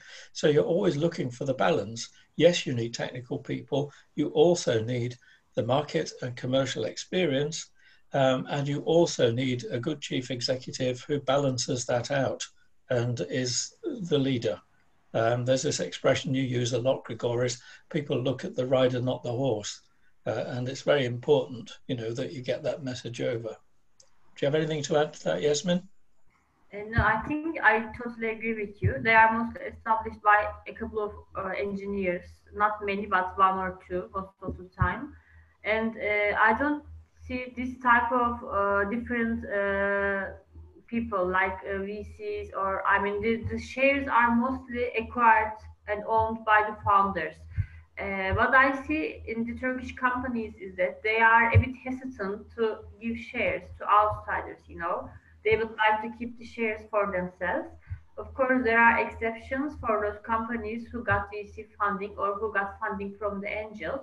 Uh, but most of the time, most of the time, they prefer, they tend to keep the uh, the founders keep the shares for themselves. That's what I see. If I could just add to that too, when it comes to um, proceeding with the project, uh, we've said to companies, so if you're successful, what will you do? Oh, we'll make it. Now, these are researchers with limited funds who've had a really good idea um, to make it, um, you know, you need to build a factory, you need to have manufacturing knowledge, you need to know about manufacturing techniques to get the design right, uh, final design right. Um, and often they don't consider working in partnership, working under license, or even selling the idea. Um, you know, it's their baby, as I said earlier, it's their baby, and they want to see it through to maturity and won't listen to uh, other alternatives. I think you have to be realistic about your company, what it does, how it does it, and then decide accordingly. Thank you very much, Philip. Uh, now, we're getting into the financials. Uh, this is a highly technical aspect that you would certainly need help from your accountant. I will go very quickly through the tables, but I would like also to encourage you, as we mentioned uh, in the beginning, we have uh, we have uh, organized a particular training course on financials. It was a webinar that was uh, delivered early this week, and it's already available in YouTube in our channel in YouTube. So I would go very quickly through those to keep some time for successful cases, and I will uh, I will uh, suggest you to watch the, the YouTube video uh, dedicated on financials and also advise get advice from your from your accountant. So practically speaking, first of all, a little bit of theory uh, when it comes to break-even point, because this is a very, very important aspect in your uh, whole financial planning. So, in plain terms, break-even point is the time that we stop losing money from the business. Break-even point is the time that the sales that we are making are able at least to be in the same level as our costs. And by cost, we mean both the fixed costs which are stable, like our rent, our uh, uh, uh, some expenses which are flat, but also the variable costs. The costs were changing according to the to the level of activity, to the volume of sales. So this is very important aspect because break-even point is the point from which we start making profit. And this is very important in financial projections because one of the main tables that you will need to fill in with the support of your accountant is the first of all, the financial performance of the company for the past two years, and then the projections for the upcoming five or six years. In these six years, it's also important to identify one point that you will reach the break-even uh, point. You don't need to make profit from day one. On the contrary, you are supposed to have uh, losses in the first years of your company, exactly because we are developing technologies which are not uh, broadly accepted in the market. But in your forecast, at one point, after the first couple of years or towards the end, you need to see that you reach the break-even point and then you have some very strong profits. These are also some financial ratios that you need to calculate. They're automatically calculated based on the previous answers that you will give. Again, this is something that your accountant will be able to help you. Then here you need to explain a little bit uh, what we call the runaway. The runaway is the time you have to survive with the money you have in the, in the, in the accounts of the company. So this means that if you are having like, let's say 10,000 euros in your account and you are burning 1,000 per month, your survival time is one is 10 months. After the 10 months, actually before the 10 months, you have already to start thinking where you're going to get some extra money. Are you have, do you have savings to put yourself as equity? Do you have friends and families who are ready to support? Are you talking to VCs or business angels? Are you supplying, uh, are you submitting proposals for grants? Are you selling products and we're expecting some money from the customers? One way or another, you need to gather some money to survive. Then it's good here to identify how the financing history of your company has been so far, meaning how you're going to, uh, how did you put equity yourself or who did put equity, if you have some loans or some other types of debts, if you obtain some grants, please be very accurate to that. And particularly if you may have grants, please make sure you highlight them because they're very, very important for your uh, for, for showing that you have already achieved something with respect to technology development as well, because we're looking for finalized prototypes in scope. Now, again, I have discussed about this uh, table. Here you are supposed to explain the ownership in the capital structure. And then you need to uh, explain the current financing round, how much money you need if you are also raising equity and what will be your post-money valuation, actually what will be the value of the company after you raise all the money you're planning to raise. These are some questions related to the blended finance option. Remember, blended finance is an equity investment coming on behalf of the European Commission if you want to pursue other activities that go at the technology readiness level of nine. And here, some important aspects is how the equity component will be used and how much equity are you ready to share with the European Commission fund for this, uh, how the valuation of the company is uh, developing and what are relevant metrics and milestones, why the company owners, how is the company ownership of the capital structure, we've seen this table before, and the most important, every investor has one uh, thing that they have in their mind, the exit how they're going to sell the part of the company that they invested to you to someone else for more money so they earn money and they move to their next investment. So here you need to explain what is your expected exit and what will be the assumptions that you made with respect to that. Now we're going possibly to the most uh, important topic about the EIC support and this is the non-bankability. What you have to do here is you need to prove uh, to the reviewers that your, uh, yeah, that your project is non-bankable, but non-bankable for the right reasons. This, uh, we explain this in detail in the webinar about the financials, but I will go quickly through it. There is a problem in the European market for uh, financing startups and SMEs because the VC in Europe is quite small, it's fragmented, and it has a short-term view. They don't understand deep tech, they don't understand science and technology. The majority of the VCs, they're looking to finance some app that is delivering food or some app that is uh, booking uh, hotels and, uh, and airplane tickets. Don't get me wrong, these are all great companies. They're making lots of money and they're making our life easier. But in Europe, we need more deep tech investment. And because of that, the current VC market is a little bit mm, so and so. Then, banks, banks are super conservative. Uh, there is the old uh, uh, quote that uh, banks are financing only the people who don't need their financing because they, they will be looking if you have assets, they will be looking if you have collateral, they will be looking if you have a huge cash flow, and obviously startups don't have these things. And when it comes to grants, the grants are sometimes either too small or they're coming a little bit too late because they have lengthy bureaucratic procedures or the budgets are enough possibly to build the prototype but not enough to go from the prototype to the scale up. And this is where the EIC accelerator comes in. The projects they are looking to finance have to have a very strong deep tech element which makes them too risky possibly for uh, typical investors or for banks or for the public grant. Therefore, and it's good here that you, if you can use relevant uh, facts and data from Turkey, and there it's very, very important also to demonstrate uh, that you have, uh, that you are doing efforts for VCs. And one killing thing if you manage to achieve would be to bring in some letters of support from VCs, from investors, telling that if they're going, that if you're going to win the grant, they're going to co-finance. I think that this is a very, very strong point in, the in your proposal. So I will now have two questions, one for Yasemin and one for Philip. Yasemin, your question is related to the Turkish landscape.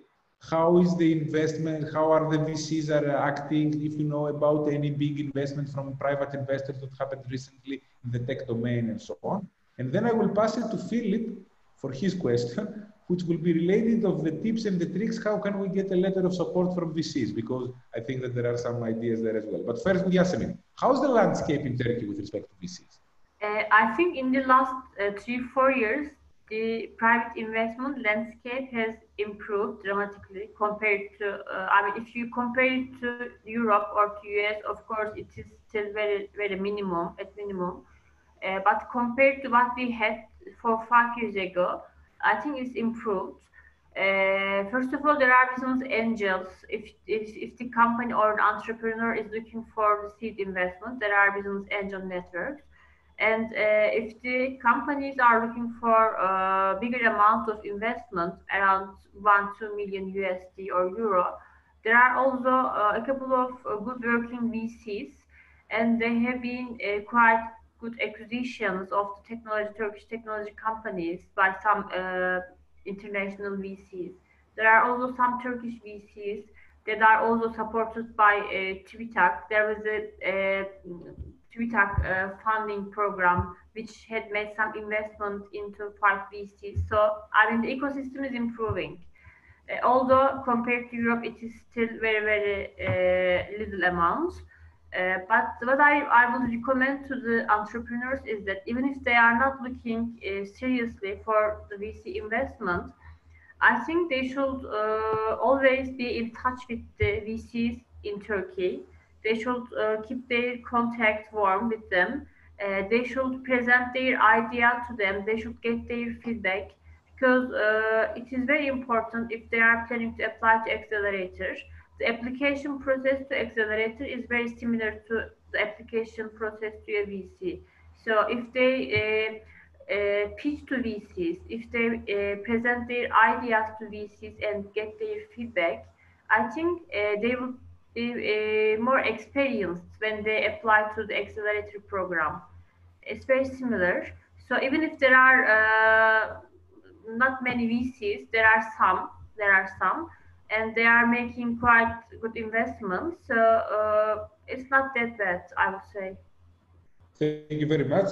And Philip, what is a way to, to put in Annex 3 some good uh, uh, documents that will convince the reviewers that we are working in this towards the direction of this? Yeah, I, I think, um, well, two things there, just adding to what Yasemin said. Um, quite often when we visit companies, it's the first time anyone has uh, put a second pair of eyes on the company and the project and asked some difficult questions because um, as a team, the team have convinced themselves they have a winning idea that's going to make a fortune. Their friends, of course, wouldn't offend them and have said the same. Their family all think that their children are the best in the world and wouldn't really argue. And it's only when an external pair of eyes um, starts to look and ask questions that reality begins to dawn. So I would say if you have anyone independent that can simply listen to your idea and come up with a few questions and comments, um, the point you made, Grigoris, earlier about different sections being written by different people, even the proposal sometimes is contradictory in what it says because someone hasn't married up what everybody's saying in terms of percentages, numbers, and so forth. Um, it hasn't had that final view. So using external help to look, uh, even to hire a consultant for a day or something to go through and talk about it and uh, put you through the test that you will get if you go to the evaluation uh, board. In terms of endorsements, I think three levels. One is um, always from uh, a senior person in a well-known company, it helps. So the first one is that they think it's a brilliant idea and they intend buying it, and the rate they would buy it is probably going to be X um, million euros a year or something. That would raise questions about whether the company can meet that demand, of course, which have to be satisfied. The second would be to endorse the product in principle without committing to buying, but to say, you know, you can see that there's a market and it has great potential. And the third one would be to simply endorse the company as an excellent business that produces good things, um, you know, and you could uh, trust them to develop innovative ideas. So three levels. The first one, the most important, somebody important in a well-known company saying that they will buy. Uh, rare to get. Um, you can always draft the letter that you want from them and send it to them on the basis that you know they're very busy people. Here's a draft of what you would like.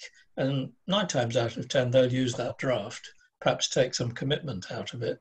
Um, so I think that's the response. Yes? Thank you very much.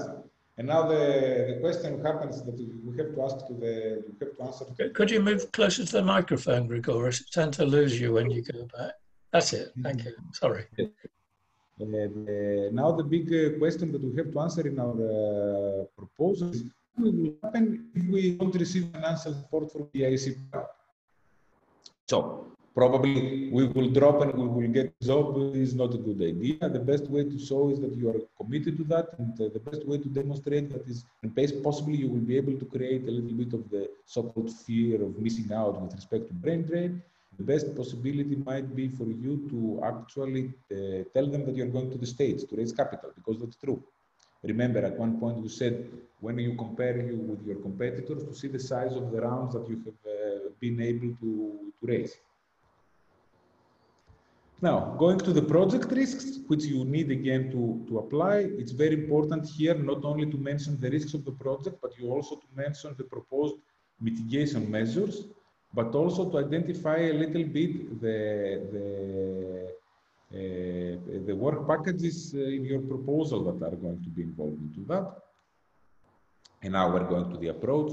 It's very important in the overall structure and approach to present the timing of your work packages, uh, the so-called Gantt uh, chart, uh, to be able to fill in this table. Keep in mind that for technology readiness level my uh, activities, you need to go to, to get the funding from uh, the equity scheme, from the, from the uh, blended finance uh, scheme.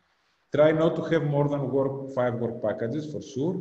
And please try to put only uh, essential deliverables. Ideally to have one deliverable per work package. You need to fill in this table, of course, explaining the details about the work package and to give enough details about how the work package would look like and possibly break it into tasks with respect to your deliverables, there are a few types of deliverables. An obvious one is a report, a document. Sometimes it's a demonstrator, it's a prototype or a design. It might be also something like a website or a patent filing, some kind of document. Uh, but also it can be other, like a software, a technical diagram, a, a mock-up, whatever. And then one important thing is the dissemination level, meaning, are you going to give all this deliverable open to the public? In principle, the European Commission has some strategy to, to give the deliverables uh, open to the public. However, this is about building a company, and this is about trade secrets, and this is about commercial interests, and this is about all that stuff. In that sense, you need to be able to identify early on which deliverables can be provided as open. This might be some kind of market research or some results from the experiments or whatever, something that you feel comfortable sharing without violating your interests and your trade uh, secrets.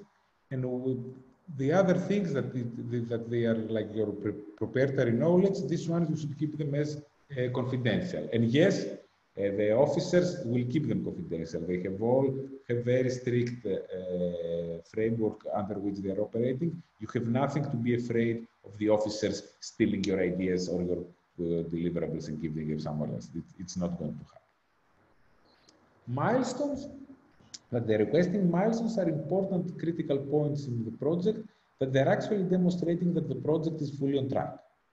They're demonstrating that you can, uh, uh, you have achieved some, let's say, uh, uh results which allow you to move forward. It's very good idea to have milestones in each of the year of the project and certainly in each of the reporting periods, because this way the reviewers and the, the externals, but also the officer, can identify on whether your project is on the right track. The milestone is the, I would say, the high level uh, element that one can check to see if you are right on track. Budget, again, uh, sorry for repeating it quite a few times, but we do have some very good uh, uh, training, especially on the financial and the budget. Please feel free to go to our website and our YouTube channel to, to see this one available. Generally speaking, you have to have categories related to the person month costs, the staff costs, travel costs, costs that have to do with equipment, costs that have to do with consumables. When it comes to equipment, be careful. It's only the depreciation of the equipment according to your national legislation and not anything else, not the full cost meaning if your, the sum of travel, equipment, and goods and services exceeds 15% of your personnel costs, you need to fill in in a very detailed way this table about justification. I suggest you to do it anyway. It gives a very good element of your proposal that you are moving along the right way. And then, subcontracting and third parties in principle, don't try to subcontract too much. Uh, most likely the, the evaluator will not like. Explicitly explain why you need to subcontract this particular work. And also, please explicitly explain the measures to comply with the best value for money principle, meaning that because it's taxpayers' money, you need to convince them that you are using it as if it was your money, that you are buying the best value for money uh, services, since you are also co-financing the action, and uh, it's, it's quite important to make sure that you have some uh, procedures in place to select the best vendors. For example, to take three offers or to make a, to make a request for proposals to five companies or to have a list of pre-defined uh, vendors. There are ways to, to explain that.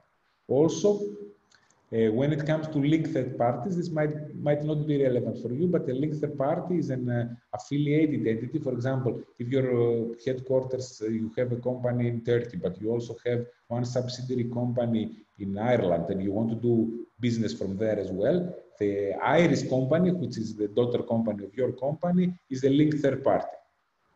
And then you have the in-kind contribution, which is uh, third parties offering uh, some activity that is uh, in kind without being the effective. For example, if they're helping you by borrowing you some equipment or seconding some personnel into the activities of the project. These are also very extreme cases. I'm assuming that the most of you will not deal with them. Then we have the annexes. A quick reminder about the annexes. I have already mentioned it. First one is security and ethics might not be very relevant for many of you, but if it is relevant, you have to go through the questionnaire. Then is the annex about the CVs. Then is Annex 3 about the others, where you have the possibility to put all these letters of support and letters of uh, commitment. Annex 4 is about the Excel spreadsheet with your financial information, this thing that you have to do completely in collaboration with your accountant. And last, and very important, is the pitch deck. Let me explain a couple of things about the pitch deck. First of all, how is the process? Now you submit a proposal and you submit the pitch deck together with the proposal. Then, if your proposal is evaluated positively, you will be invited for an interview. And this is the point that you are presenting your pitch deck. But you are submitting your pitch deck now and you don't have the right to change it. So be prepared that whatever you submit now as your pitch deck, this is the thing that you're going to present. You cannot change. And there are practically 10 minutes, and the, these are the topics you need to cover, the purpose of your company, the problem, the solution, the value proposition, market opportunity and risks, competition, business model, commercialization and marketing, strategy, financial projections, team, and final conclusions. So this is more or less what you need to put here. Keep in mind that uh, to use only one slide per heading, meaning so this will be like two, four, six, eight, 11 slides all in all. Uh, some recommendations take into account the award criteria, the ones that we have been summarizing for every uh, section. and address them all in your pitch appropriately. When you're preparing the proposal, don't leave the pitch for the last moment, for the last evening, because then you will submit something which is of low quality. Keep in mind that you have only 10 minutes to present. Keep in mind that you need to explain in your technology language that avoids jargon, everybody can understand. Visuals are important. Text uh, does not help too much in such presentations. And remember that you cannot update it, it should not exceed 10 megabytes, and it should be a separate PDF file. And then some tips and tricks from successful uh, pitches. Try to answer some very simple questions. What are you selling? Who are their customers? and why they should pay it. And then try to highlight some things. So if you're already making some money, try to mention it. Try to engage the audience with your way of presentation by looking at them, by asking questions, by, by uh, performing a kind of a show. But, uh, I would say a normal, uh, in a normal way, don't exaggerate on that. Very important aspect is storytelling. Try to explain how someone can solve real life problems by using your products or services be prepared that there will be lots of questions and answers. So it's good to, to also to do lots of rehearsals with respect to that. And try to be clear, positive, and credible. And these are the things. Be yourself, be natural, be honest. And these are the tips that can help you go through the interview process, if, of course, your proposal is uh, good enough to be invited towards it. Now, going back to the criteria. Philip, I think non-bankability is the most critical aspect. Am I correct? Um, well, there are several of them, but non-bankability is a key factor. Um, it's it's a difficult concept to understand, but it's um, a question of you know could it work without the funding? Really, I mean, the commission are asking this to see whether you're justifying the need for the funding that they can offer, and as I said earlier, they're interested in risk, not success in that sense. So the more non-bankable, the better in their sense, um, except that it shouldn't be so non-bankable. It doesn't stand as an idea with potential. You're striking it somewhere in between, I think. Mm-hmm, mm-hmm. Uh, I, I, find it extremely difficult, this thing, uh, I would say, uh, balance between being non-bankable because you are too deep tech and too complicated and being non-bankable because your idea doesn't make sense. And we have to be very careful when we're standing uh, in between those. Uh, Just as a point we had from one of the evaluators, they said that if the project goes out for evaluation and all the evaluators give it a green light, um, then they're quite concerned that there isn't an element of risk. If they all give it a red light, of course, it's not workable. But the Commission likes something in between where there are a few red lights uh, so that they can home in on the risk that they're funding. It's a, it's a strange mindset to get into, but they're looking for the element of risk that nobody else will support that will get the project to uh, a commercial uh, commercial success. Yes, yes, yes. Uh, Yasemin, when it comes to budgets, what do you think are the, the biggest mistakes that you normally see in proposals coming from Turkey? What are the things that you would like to ask people to avoid? Uh, in terms of budget, uh, I think uh, you know the uh, personal costs is very low in Turkey compared to Europe. So the budget made by the Turkish companies uh, is quite reasonable actually compared to European uh, companies. Uh, sometimes they allocate too much uh, budget to equipment, uh, Grigoris, and uh, I think it's not uh, very preferable. Uh, most of the budget should be allocated to personal costs. And if the company is allocating more than half or even half of the budget to equipment or travel or other costs, it may be considered a bit negative by the evaluators. I think that's one uh, important note. But as I said, the uh, costs are quite low in Turkey compared to Europe because of the exchange rate. Uh, so we don't see much extreme budgets in the Turkish companies. Okay, that makes sense. Thank you very much. And now I think it's the time to move to a little bit of uh, our poll for a couple of questions more. Just, uh, just one point before we move on. You mentioned the pitch deck, um. In delivering that pitch deck, it's a personal thing. You mentioned the limited time, so a lot of people are nervous and want to show that they're capable. So they can begin by apologizing, you know, saying something like, uh, I don't often present, but here we go. Or I'll load this into my computer, hopefully it will work. If you're technologists, you know, you don't say those things. Um, and then if you're, uh, I have to say this, a boring looking, boring sounding person like me, then, you know, you have a disadvantage over those who are energized, enthusiastic and younger like Grigoris. So, you know, you have to think you have to think. Um, noticed I wasn't sexist there and say Yasmin. Hmm. Um, you have to think about who's presenting, how you're presenting, whether your English is good enough to present.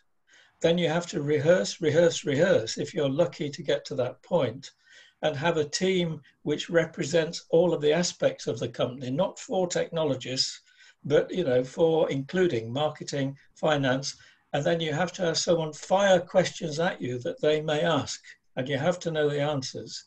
So there's a lot more to presenting than 10 slides. Yeah? Correct. Thank you very much. So now let's let's uh, learn a little bit more about you. So, do you guys feel that currently you miss any competencies in your team? Let me see your votes. Some people say that they miss, most people so far say that they miss both. Let me see, other ideas. Is there anybody who believes that you're not missing anything? You have the stellar team and you're now ready to conquer the market?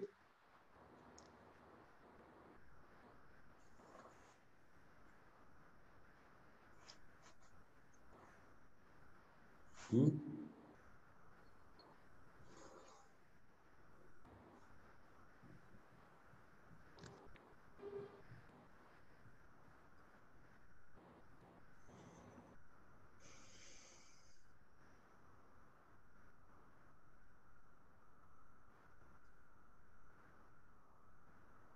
Great.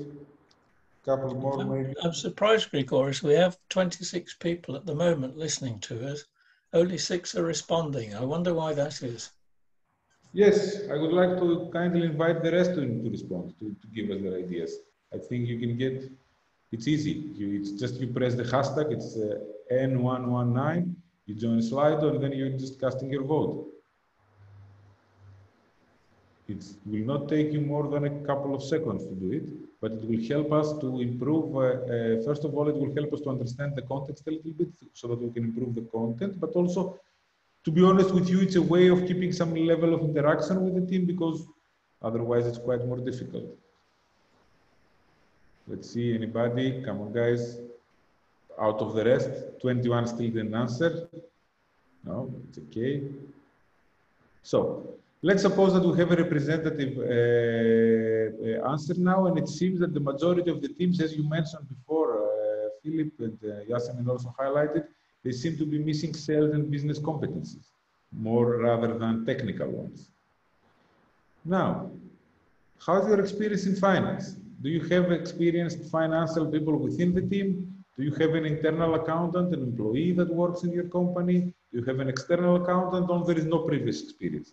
That's very important. You have an external accountant. Good. Let's see other other uh, answers to that. The team itself has experience in finance. That's also very good. Any other ideas with that? Internal accountant.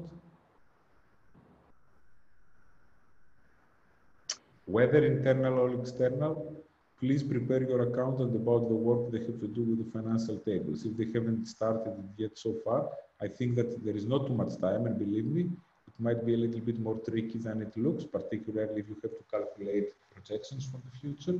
Therefore, we need to walk along these lines.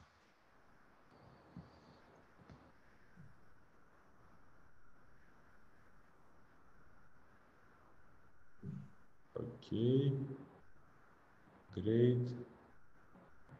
Next question for you.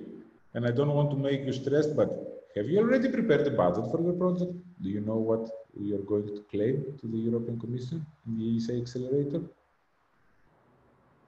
Let's see.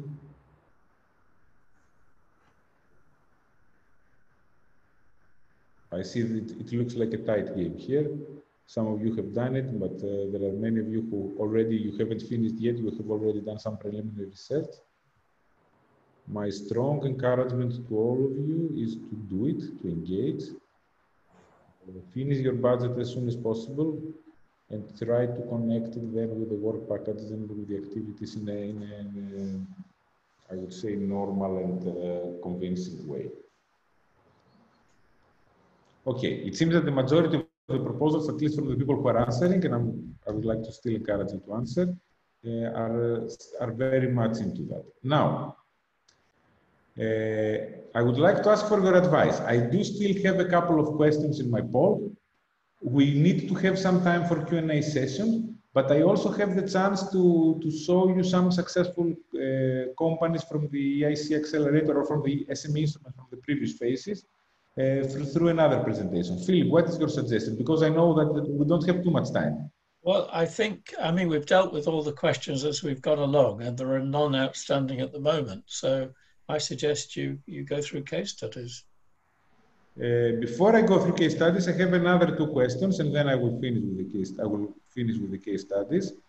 When it comes to your proposals, the ones that you are planning to submit, what is, in your opinion, the strongest aspect of your proposal? Is it about the technology?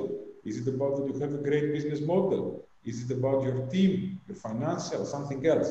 Please let us know. What do you believe is the strongest aspect of your proposal now that you are writing, now that you are Closer to the microphone, Grigoris. Closer, closer. Yes, yes. I, I tend to forget because it's. I, I used to wear this one. The, the, the battery went away during the talk. I, some people have some good, uh, also in terms strong proposals in terms of business model. Any other ideas? What is the, the strongest aspect of your proposals? Financials. That's also an interesting aspect. Business model seems to be moving well, technology remaining the dominant. Let me see a few of ideas more.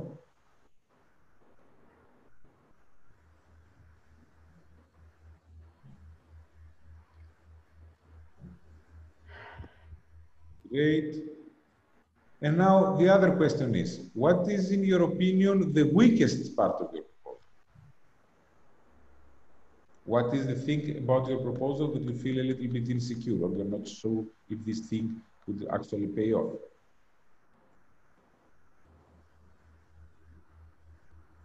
Okay, I see many people are seeing gaps in the business model and the financials. As for the financials, uh, we discussed before, please feel free to visit our uh, YouTube channel. You will see lots of information there and we went really into detail uh, for every aspect of the financial issue. But Philip, uh, I think that the answers more or less are confirming your uh, initial statements that we have an amazing technology background normally in Turkish companies, but we need a little bit extra effort to cover the business model in the market, the sales component. So, and you know that, that's in a way that's quite sad. I mean, there are some excellent ideas out there and some very good people. So, you know, I think they need to recognise the the need for that element in their business, which is difficult when no one in the business is from that background. Um, they need to recognise and and do something about it if they think it's commercializable. Um, you know, then I mean, I've been in high tech companies. I've been employed in and I've managed high tech companies, and the marketing and financial people are somewhat frowned upon. It's, it's almost considered by some technologies a sort of dirty word, you know, selling, marketing. Um, it's not seen as the sort of thing they want to be involved in. And the last thing you need is a technical person trying to sell Uh, some salespeople can sell technical, but technical people rarely can sell because they immediately switch to technology. And if you're selling to a board of a company, um, you may have one person who's technical and who's supporting your bid, but the others will be financial, marketing, and the rest, as with the panel of evaluators. And you're impressing perhaps one person with the technical aspect. Uh, I'm an engineer myself, and accountants are always the sworn enemy of engineers because whatever the engineer wants to do with the fantastic research and the piece of equipment they want to, they want to buy, the accountant will always say we can't afford it or it's not justified. So there's always an inner conflict in companies, which results, of course, ultimately in a team effort. But um, you can't ignore the fact you do need financial help. You do need marketing help if you intend selling at the end of the day. Thank you very much, Philip. Uh, I will go now to the last quick part. I will skip this part explaining you that uh, EIC Accelerator is the successor of uh, SME Instrument Phase 2. I will also skip the statistics. I don't think they make too much sense anymore because the program has changed. But I'd like to demonstrate to you some successful uh, companies. Here, there is a case that I would like to highlight exactly for this reason. I mean, you mentioned earlier that uh, uh, Uh, technical co-founders in, uh, in, Turkey are not very reluctant to, to give the wheel to somebody else. Let's look at another case. Let's look at this Irish company called Nuritas. So why this company was super successful? They, they got funded and they, they successfully finished the project. First of all, because they had huge traction, and second, because they had the right mix between corporate and science. And look at this lady she started from math academics to, to, to, to establish a biotech company. The company is uh, using IT and life sciences expertise to understand, uh, to mine DNA and protein data so they can understand if they can create new food components that they can prevent, manage, or even possibly cure disease. So it's kind of a big data enabled Ayurveda, if you ask. But look at this. Once she established the company, once she realized that the company reaches up to a level, then she appoints the former Pfizer president from the pharmaceutical company as its CEO. She steps down herself from the CEO. She becomes a chief scientific officer. She realizes that she created something bigger than her. And she is getting into that. So she's stepping back. She understands that her role as a chief scientist is to continue leading the technical developments, the scientific developments, and she brings a real CEO on the table. I will not go through this. Of course, one of the other things that they had, they have already attracted huge investors. Some of their earlier investors were even the Bono and Edge from the U2 famous band. And they, after that, they raised another 30 million euros from the European Investment Bank to scale up globally. Another case. Okay, uh, Chancellor Merkel is not as famous as Bono, possibly, but uh, more important for our everyday lives uh, in a way. Here we're talking about a very solid. Can't, she can't sing as well either, Grigoris. we have a very solid technical uh, solution and we have a very realistic business model. Uh, it's about a company that is working on uh, storing hydrogen in the, in the liquid form as it would be by storing some oil. And uh, this was founded by a very strong technical team, but also included uh, business people. And they achieved, when they got funded, they have already achieved some very remarkable uh, results. 80% of the operating cost reduction, they have already a sales contract of uh, 1.5 million, and they had very big, but uh, ambitious, but uh, realistic targets to have 90 million revenues and 235 uh, employees three years after the, uh, completing the project. This is the level of, of ambition that we need in this type of projects, that we need companies that will show the capacity to scale up, to stop being an SME anymore or to be on the borderline. And the third, we have another case which you will not see any famous people in the pictures. You will not see something that will, uh, is crazy high tech. We are talking here about a nanomaterial which is a, a low cost uh, aerogel type nanomaterial which is supposed to be used in construction and so on What we think was the competitive advantage of these guys is that they had a very well organized project and they kept everything simple. So again, very clear, mature uh, ideas about the benefits, the economic benefits. They have their, uh, they are uh, looking at a huge market. They will also be able to have a final design, and then they will be able, after that, to, to go into TRL 9 uh, and uh, push the products in the market. Again, they were aiming at a turnover to 25.7 million and uh, earnings before taxes and interest and debts at 15 million euros by 2022.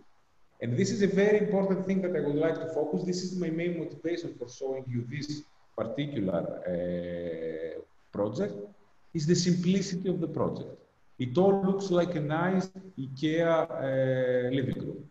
Nothing super fancy, but everything is in place. So the first work package is obviously the project management, but then what they're doing is they're validating their manufacturing process, they're validating the, the, the so they're validating the uh, production process, they're validating with customers in different four different trials, and actually one of those goes outside of Europe to demonstrate their global potential. Of course, they're disseminating the results, and they're finalizing the business plan and their uh, go-to-market strategy. Simple, rules. Validate production process, validate the product, become investor ready, and let your stakeholders know about it. If you follow these simple steps, uh, I think that this is a very difficult to miss strategy. And after that, I think that I will stop sharing my screens. I have gone through the uh, points. I think it's time to give the floor to questions, but also to you, Yasemin and Philip, for concluding remarks.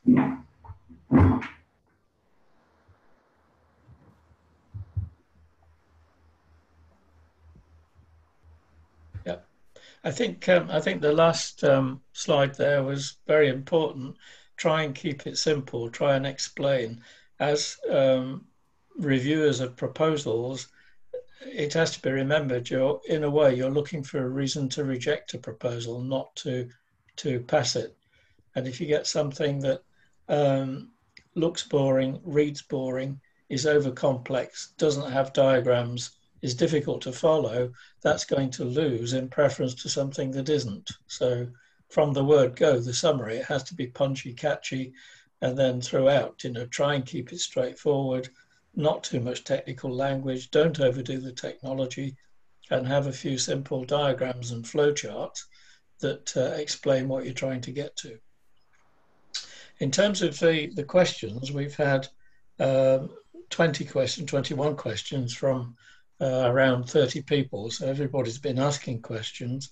Um, in the ones I've seen, and I'm sure Yasmin can uh, can expand on it, um, a few questions about um, how you show um, the need for employees, whether you need to recruit at the beginning or not.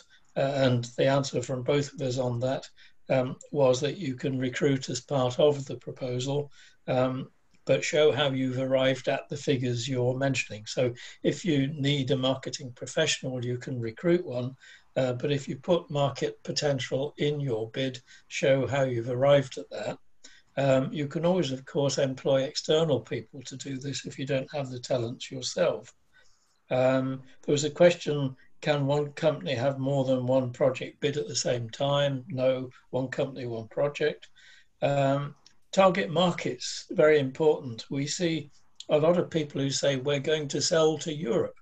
Now, just the EU alone, uh, 27 countries, um, and different languages, different rates of development, different regulations, different competition. Um, and language is important, of course. Um, it, you know, if you have German speakers or agents, fine. But if you don't speak German, you're not going to sell in Germany. So um, important to focus on your actual market on the basis of competition, potential, price, and the ease of selling in that country, perhaps through agents, um, uh, or if it's direct, you show how you can cope with that. Um, and the final one, risks and mitigation. Um, there was talk in one of the questions about uh, some competition coming in um, and sort of taking the market, that's obviously a risk. Uh, if you're bidding, you show how you mitigate that risk. Um, if you can't mitigate the risk, then the project's not going to get very far. So, no, no one's going to listen if you complain about competition. You have to show how you can compete, or you don't compete. Yasmin, anything to add to that? Thank you. I think you covered everything. Ah, right. um, all that has to be said is that those questions are recorded uh, in terms of noted um, with the responses. They will appear on our website uh, along with all the presentations you've seen and lots of other information about finance and uh, technology readiness levels and business strategy. Uh, so please do take a look at it. Um, I guess that's all from me. So thank you for listening. I hope you found it interesting. Um, back to you, Grigoris and Yasmin. Thank you very much. I have no further comments. I would like to thank the participants uh, for uh, uh, for their engagement. I think that uh, uh, the proposal writing comes in a virtual way. we are still experimenting, but I see some good response, and I think that we will soon have the chance to to meet physically. So, thank you very much. My side, the floor to you. Oh, just just one final point, by the way. Uh, there was an option to some companies for us to take a look at any drafted proposals um, contact Kamal, uh, the contact you have for this event, if you have that uh, that point to pursue. Sorry, Yasmin. No problem. Uh, Tarık, would you like to add anything, or shall I just close the session? No, thank you for your efforts. That's the only thing I want to say. Thank you. Okay, so uh, I'm closing the session and uh, thank you Grigoris and Philip. E, katıldığınız için çok teşekkür ederiz. Bugünkü webinar umarım faydalı olmuştur. E, tüm e, etkinliklerimizin sunumları ve webinarların kayıtlarına e, web sitemizden ulaşabilirsiniz. E, www.turkeyinh2020.eu web sitesinden hepsine ulaşabilirsiniz. E, bir 30 dakika daha saat bir buçuğa kadar bu Zoom platformu açık olacak. Eğer sorularınız olursa buradan yazabilirsiniz. E, biz gidiyoruz ama e, bu soruların cevapları da gene web sitesinden paylaşılacak tekrar. E, o yüzden 30 dakika aklınıza gelen soru varsa bu chat box'tan yazmaktan çekinmeyin lütfen. E, bir sonraki webinarımız 28 Eylül'de olacak. E, biliyorsunuz bu senelik son cutoff 7 Ekim'de, akseleratör programının son cutoff'u 7 Ekim'de. Özellikle katofa yakın tuttuk ki e, gerçekten proje başvurusu yapacak olan firmalar e, proposallarını o tarihe kadar hazırlamış olsunlar ki akıllarına takılan spesifik sorular olursa ki mutlaka olacaktır diye düşünüyorum. E, bizler hem TÜBİTAK'tan e, yetkililerimiz, Tarık Beyler hem uzmanlarımız hem ben burada oluyor ve sorularınızı, spesifik sorularınızı teklifinizle ilgili e, cevaplıyor olacağız. Çok faydalı olacağını düşünüyorum. 28 Eylül. E, yine TÜBİTAK aracılığıyla size davet ulaştırılacaktır. E, tekrar teşekkür ediyoruz. Lütfen e, bu ekrandaki QR kodu ekleyerek eğitimle ilgili feedback vermeyi unutmayın lütfen. E, bunları da gene 28 Eylül'deki yeni etkinliğimizde e, değerlendirip sizlere daha iyi bir hizmet sunmaya çalışıyor olacağız. E, tekrar teşekkür ediyoruz her şey için. Görüşmek üzere, hoşçakalın.